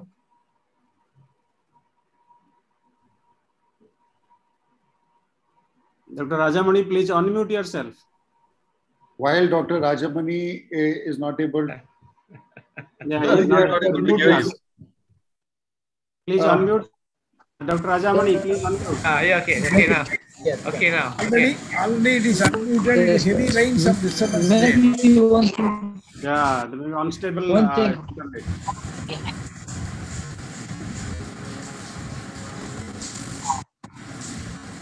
You want to say something, Dr. Jamani? Yeah, some audio is not very clear. Okay, okay, okay. Thank you very much. Okay, so uh, we are open to now for the our session for discussions. Uh, yeah, yeah, yeah. Your audio is uh, disturbing. You, you can unmute. Also, the audio is Yamani, you can unmute because it's disturbed. It will sound. Okay, uh, Dr. Mukul, you have something to say uh, to ask? Uh, sir, I just want to ask for the some tips from the experts, uh, especially for most of us right-handed surgeons. It is easy to operate on the left-sided pathologies and approaching any pathology from the left side. But when we are working from the right side, there is always an issue of initially docking and clearing the lamina. Are there any tips uh, which the experts would like to, sir, enlighten us with so that it is easier for us to work from the right side, especially for right-sided pathology or for right-side over-the-top pathology, sir? Yeah, I agree with your question. This is usually in a learning curve, right side. You have to invert your instrument. Go in, then invert them, and then do the thing. Yes, Dr. Rohidas. Rohidas, your where is Dr. Rohidas? Not, he's not there. Can I can I, I ask a a question? question? I have a question for Dr. Kaushal, sir. Dr. Mahendra Kaushal, sir. You have uh, uh, given us an innovation whereby you have you started using a system which has both dry and fluid uh, medium. What exactly indications do you uh, feel where a fluid medium is suited better than a dry medium? Eh, naturally you see whatever uh, you innovate there is a driving force behind that and there are frustrations that then you, your mind start working ki something better should be done. And now we are in a era where we have a, uh dry system also and we have a saline or a fluid system also. And uh, you see i don't see any other uh, my colleague in world i'll say who is doing dual spine endoscopy so I have combined the advantages of dry endoscopy along with the fluid endoscopy. That's why I mean, uh, PC was asking a question: Why don't you do fluid endoscopy right from the beginning to the end? So we can do that. I mean, with this system, that can be done. But I feel that is uh, not really justified. We start with the dry endoscopy system, and the uh, the advantages or disadvantages which I was coming across when you when you're close to the surgical target, even in Destandau system, there is a staining of the scope. You must have seen by many times we have to clean the lens and then put in the scope again. And then the scope of the Destandau system stops at the lamina. Beyond that, you can't go. Although that's better magnified, but uh, uh, with the arthrospine system, now scope can go beyond the confines of the tube.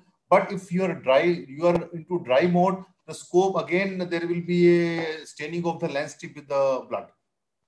So that was a thing which was frustrating. And moreover the this idea i got from dr Sohn when i visited korea that when you are close to the surgical target or the dura you switch over to saline mode.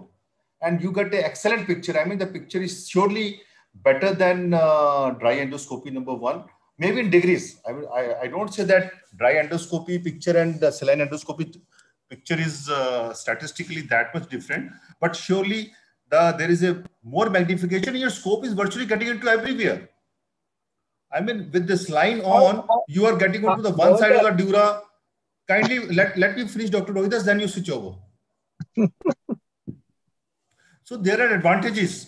I mean, you can't, uh, this is what I felt that rather than using a huge amount of fluid which has its own complication. Like in dry endoscopy also in the end we do irrigation. We use about 20 to 30 ml of fluid for irrigation. So here i usually end up using about 2 to 3 liters of fluid in the end. I see all the things. Even i can get into the foramina see the my scope is uh, virtually everywhere with the saline on. And excellent picture quality you get. So this is just a add-on. I mean it is every surgeon's viewpoint. I mean some surgeons they ask me Kaushal, why don't you do it 100% saline endoscopy when saline endoscopy is becoming popular? Many people are not going for Destandau nowadays. They are going for saline endoscopy. There are minimal incisions. I mean, this kind of comments I am uh, listening from my friends, those who are uh, into spine endoscopy. So this is this was uh, my reason of uh, designing a dual system. And this is a system I think no one else in the world is using. Either one is slave of a dry endoscopy or a slave of uh, saline endoscopy. So I don't believe that philosophy. I feel whatever is good for the patient, you do that. So I have incorporated saline benefits of saline endoscopy also in the dry endoscopy. Otherwise, saline, when I have seen colleagues using liters of saline, I mean huge quantity of saline, that has its own attendant complications. And those of us who are arthroscopic surgeons, you will find key for you, I mean, for them, it is not a big deal uh, using saline and uh, saline at the end of the procedure. Can I add something? Dr. Dey, would you Yeah, allow me to add something? Yeah, uh, I would say that, um, okay, that obviously, surely for the benefit of the patient, we can add saline or don't add saline, that's a uh, different. But I would say I, I have used saline, I have not used saline, and I have seen that dry endoscopy gives a better view of the neural structures in case with endospine and but if you go for UBE then saline is obviously needed because I have done both UBE and endospine and endospine dry endoscopy. I have found definitely if I use saline, the things get a little jumbled up. It's for me. I don't know for other people. But dry endoscopy, I think it's obviously good for endospine. No, no, you may be talking about very few cases, but when you do 50 plus cases, you will change. You may be learning stage. I have, I have, I have done, I have done up, I have done about 75, about 70, 75 cases with endospine, about 15, 20 cases with UBE. Yeah, that is, that is too less a number with saline, and saline initially is very very frustrating. So you when you cross cross fifty, probably then you will be able to strike the balance. And uh, surely I did say that, but fluid uh, picture is surely better than uh, I'll say than a dry endoscopy. This is what I can put across. Mohinder, I want to ask one question. What are the possible complications of fluid endoscopy and how to avoid them? This pressure uh, I think uh, fluid endoscopy, when you are planning to use a fluid as a medium in uh, uh, spine, I think you must read about the complications of uh, fluid as far as spine endoscopy is concerned. First is uh, if you are using a fluid pump, which we use in arthroscopy, it is not recommended. But some surgeons, especially those who are so-called PSLD guys, no, those who use single cannula, fluid is going in, coming out. The pressure should not go beyond 25 to 30 mm of mercury. If it goes beyond that, बस बस बस. चला हाताने मुळा बघायला पाहिजे आणि मग हे करायचं अरे भैया अपना म्यूट कर दो जरा बोलिए गुरुजी Dr. Rohidas, please mute. Okay, okay. I think uh, we, we, we, we, we concentrate on the lumbar discectomy rather than the, the other. Otherwise, we're going to confuse Yeah, Uh, discussion. We focus on this. We I need think a Rohidas tip- has a comment now. Yeah, we need a tips uh, for the experience from the uh, uh, before Rohidas. Uh, yes, Mon, want to say something? Yeah, just Concentrate. wanted to just wanted to ask the panelists, specifically Dr. Rohidas, with the endospine system, what other special instruments or what other general instruments can one find useful and handy with this system, with this particular technique? Just would like to like the ball tip probe that you have devised, Dr. Kaushal. So I would request Dr. Rohidas to give us some tips on that. Okay, Dr. Rohidas, you can wrap up the, the, the discussions. The, the basic basic thing is that with endospine we are approaching nerve, dura, disc, or canal the way which we uh, approach with microscope or open surgery. So the anatomy is not different. The instruments are not different at all. Correct? Yeah, But yeah. are we able to use the general instruments that we use in the open spine surgeries? Can we use them with this endospine system? Yes, Penfield retractor is the same as it is open in the open surgery. Nerve hook, nerve tip, right angle, or a 45 degree angle, these are the same instrument. Ball tip nerve hook is for the protection, nothing else. Just while hooking out the retracting the nerve root, you should be protecting the nerve. Additional thing we can use drill as we are using in the open surgery. So nothing special is there. Yeah, only 3 mm. 3 mm Kerrisons you have to use, not bigger than that. You can use 2 mm, 3 mm, anything. Not bigger than 3 mm. In open surgery, sometimes we use. Yeah, less. because 3 mm, bigger than 3 mm will not go through the port of the endoscope. Yeah, yeah, yeah. That's the thing. It- Kerrison That is punches need to be specially designed for Destandau or maybe for arthrospine. Bigger the dia Kerrison punches don't go. I mean the conventional open spine surgery That, Kerrison punches that is the, surely that the not go through the problem because, because, because if we go for a higher tip endoscope, 4 mm, the breadth, the thickness of the shaft becomes large. The Storz endoscope is built in such a way with a 3 mm bite also, bigger bite also, you get a thin, thinner uh, shaft Kerrison punch, which goes through the 9 mm port.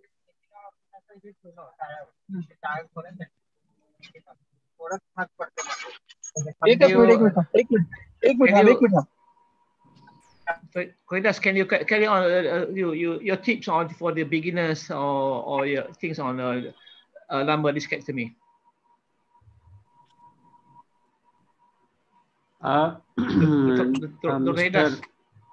I mean, Dr. Yeah. Uh, Rohidas.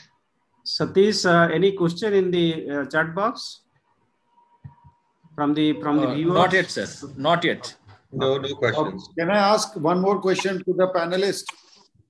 Uh, all those who are performing these endospine surgeries, uh, can you give us a, uh, an idea about what is the effect of this technique on posterior spinal musculature after the surgery? What is the effect on the muscles that we are retracting? How much is the damage? Is there any damage or is there any significant uh, uh, loss of function or hypertrophy of these muscles post uh, uh, this technique? You, this technique using this technique. I think Monu, there are studies now in literature where they have compared compared Destandau endospine technique with microscopic, microscopic, and they see the, the muscle damage is surely less with the endospine as compared to microscopic uh, uh, techniques. These are studies, but among various endoscopic techniques, when we started endoscopy, it was only uh, posterior Jung system or a endospine system. Now, in last 10 years, there is a market is filled with the systems now, and younger surgeons are more than confused ever. And as you, uh, so that is what I can share with you. Literature says that uh, now microscope guys are also using tube nowadays, isn't it? So I don't know whether there are studies now where there is a comparison of various tubes versus muscle damage. I mean, I, I'm not aware of such a study so far. In my It was more- experience, uh, what we have done more than two two thousand cases. May I I've talk not, uh, something? Okay. Sorry? Let let PC Dey finish and then I'll talk. Okay, okay. So uh, uh, what we are doing, we are doing subperiosteal dissection from the midline, and we are docking the instrument and putting the gauze piece or something, uh, uh, maybe cranial and caudal, so that we are not uh, cutting the muscles. Once you remove the tube, automatically the muscle will play and uh, uh, fall in the place. And in my experience, nobody, I have not seen that any atrophy of the muscles or any complaint of the, about the muscles uh, in the back. And uh, at uh, during surgery, just after finish, when I am removing the tube, I saw that so most of the time it falls very nicely in its place. So I don't think any muscle atrophy or muscle injury is a problem That, for the. that is usually demonstrated on MRIs, post-operative MRIs. Yes, Yeah, Nikhil is right. Nikhil is very right. You have to do serial MRIs to, uh, to support your statement. Clinically, even I have Okay, Dr. Jamani. Dr. Jamani, you want to say something? The audio is not clear, but anyhow, I'll talk. There are a lot of studies, post MRI, sorry, post surgical MRI, serum studies, and EMG studies were clearly demonstrated and documented that the muscle damage is lesser than compared to the open and microscopic and endoscopic surgery. But obviously, clinically, there is not much of muscle atrophy as we see over a period of time. But there are studies which prove definitely the muscle damage, whatever it is, is less. Okay, thank you. So, Dr. Hidas, can you wrap up the discussions? So listen, our target is nerve root compressed because of the disc, because of the bony stenosis, because of all the compressive region. Muscle atrophy. The there is no study. In between, I had posted a long list. There is no study how much muscle trauma occurs when there is a stenoscopic stenoscope, when there is a UB, when there is a endospine or any other technique, or a easy go, when they- they dilate the muscle. There is no study where we compare the muscle trauma. And all these discussions, it is not necessary. The basic principle, our basic principle is to tackle the disc, tackle the neural compression, and that is the essential thing. I think We I are we are agree with Rohita. discussing the things which are not in your hand.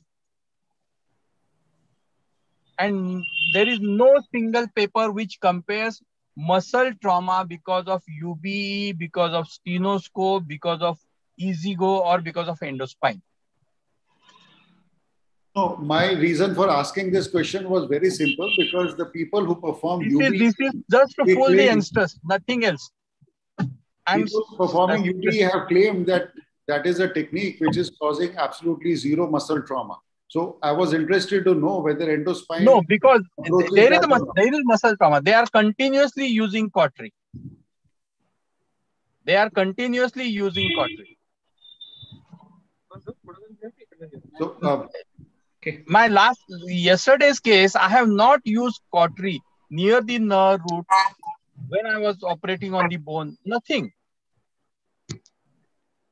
I think But we, in we, we, fluid we medium, wait you have to continuously use cautery, and there is some amount of uh, damage to the muscle or to the structures when you use cautery.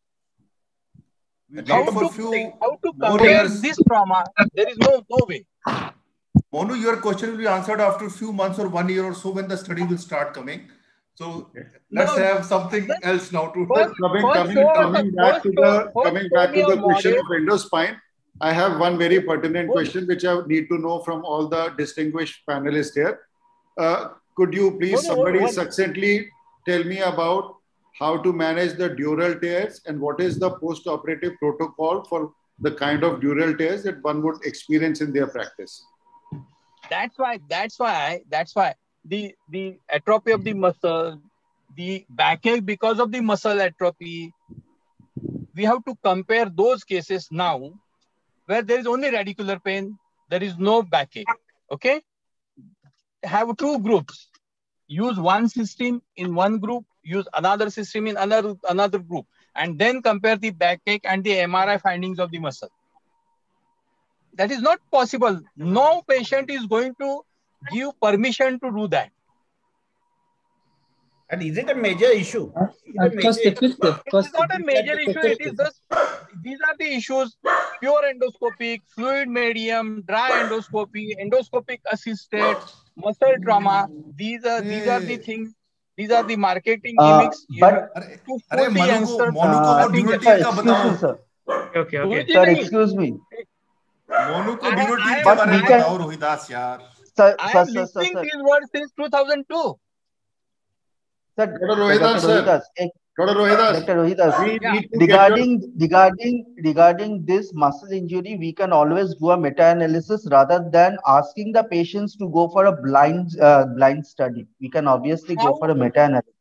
how how to how compare how to compare muscle trauma in case of a stenoscope, UBE, EasyGo, and endospine.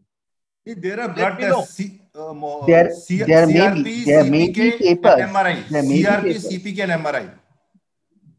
Now, what I want to say is it a major issue? But in open There's surgery, no major issue at all. we are handling uh, the muscle so much here, we are handling so little. Yeah, why, yeah. why that much discussion or uh, study is required at all? Because I have yeah. no so Most, the most of the studies, most of the it, might studies not have be, it might not be a major issue open for us endoscopic. Most of the, the studies of have... the muscle is as minimal as possible, and handling of the nerve and the disc is not inadequate. What is the point? Yeah. yeah okay. Talk more about uh, injury.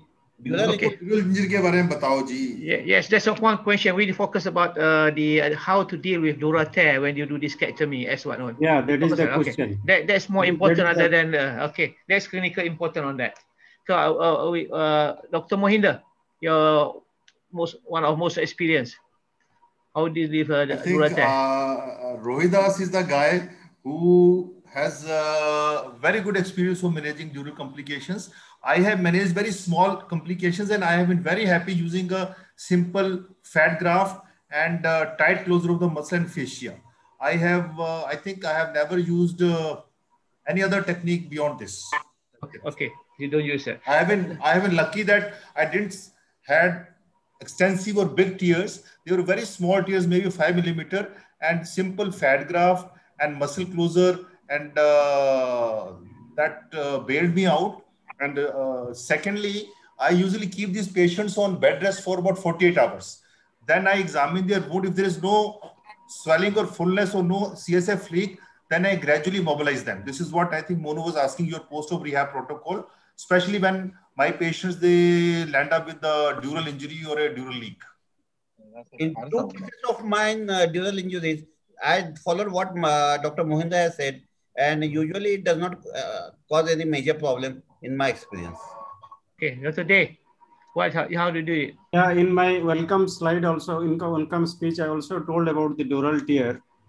In uh, other technique, uh, if it is a, uh, a smaller one uh, or a bigger one, you have to open sometime endoscopic technique maybe uh, need to open little bit or extend the incision and go for the dural repair or any seal. But in endoscopic technique, this is the beauty of this endoscopic system that we can deal the dural tear by the same endoscopic techniques and by same instrument because the tear is very smaller. Just you uh, think about this, the nerve herniation is there or not. If it's a non-nerve herniation is not there, then no need to put anything except you just put a superficial, maybe small gel foam or the, then you put the uh, just uh, glue, maybe fibrin glue or something. And the post-operative, uh, you need to elevate the leg side maybe about six inches for two, 48 hours and also ask the patient not to mobilize and or move in 48 hours. This is the most important thing. And maybe uh, up to a week, at least patient has to avoid the hard work or forward bending or something like that. And if it is a herniated uh, part of the nerve, if the nerve is herniating and more than five millimeter injury, you have to push back the nerve root inside the dural sac and put a muscle patch or maybe maybe fatty patch, fat patch, and over that I put a uh, glue. And also the same way post-operative management, I think same. I do add acetazolamide for these patients, maybe two to three weeks. Just yeah, yeah, yeah. Okay, Dr. Jamani, you want to say something? Yes, yes. Actually, the in general, Okay, okay, Jamani. Jamani, Jamani. complications Uh, are the same. Dr. Dr. Ayman, uh, wait, wait, wait, wait, Jamani first. Am I Okay. Jamani, in short. Audible? Okay. In, in Yeah, short, I'm- yeah, yeah, yeah. See, the complications in general is no way different from any other technique, either open microscope or endoscope, whatever it is, basic. And as long as dural tear is concerned, in the endoscopy, the dural tear is happen to be very minimal. And as long as the pia is intact, you don't need to worry about it.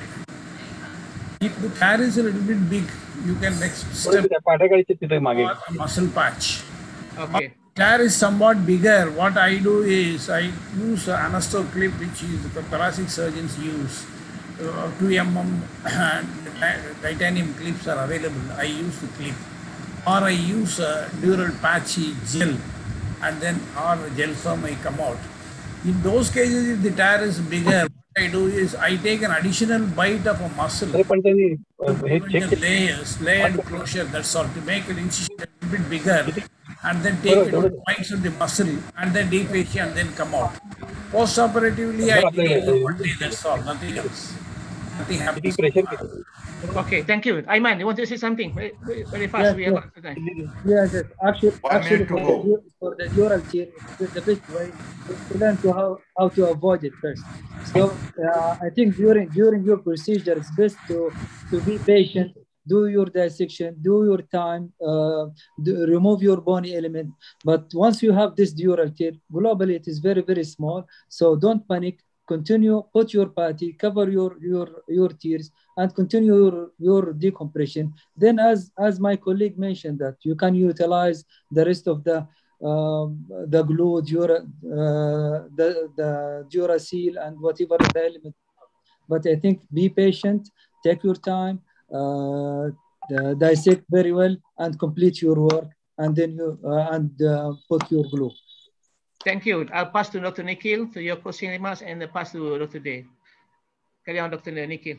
Hello, hi. Uh, Yeah, I, I wanted to also say that I have used a tissue patch dural, which is a thin film uh, of polymers, which is just to be placed on the dura and with a little pressure, and it just sticks to it and it seals up quite well. So that's another thing that one can do in case of a dural leak. Yeah. One thing I wanted to ask is that if it occurs in the very beginning of your procedure, then really uh, all the time you at the end of it you can really cover it and all.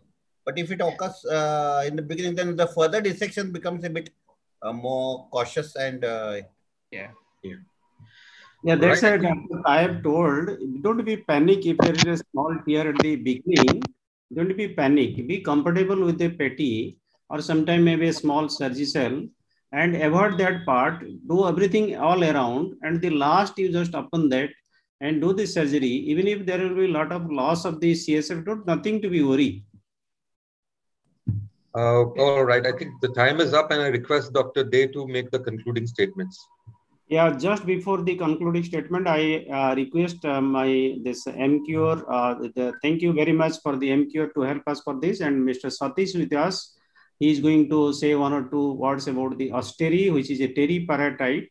And everybody knows we are dealing with the spine, and the I think elderly spine needs a lot of uh, osteoporosis. Patients are coming to us, and uh, I am very happy with this uh, osteri that we are giving sometimes the elderly lady we are done uh, we have done the proper treatment decompress adequately. Even if the patient is not having the uh, radiculopathy is over but the back pain sometimes uh, uh, not uh, recovering. And uh, we are giving uh, maybe two three months six months.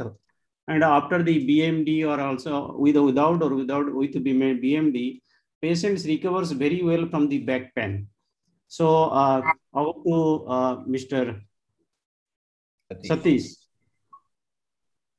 Thank you, sir. Uh, uh, thanks a lot. I just wanted to uh, take a minute uh, to just thank you on behalf of Emcure Pharmaceuticals Limited.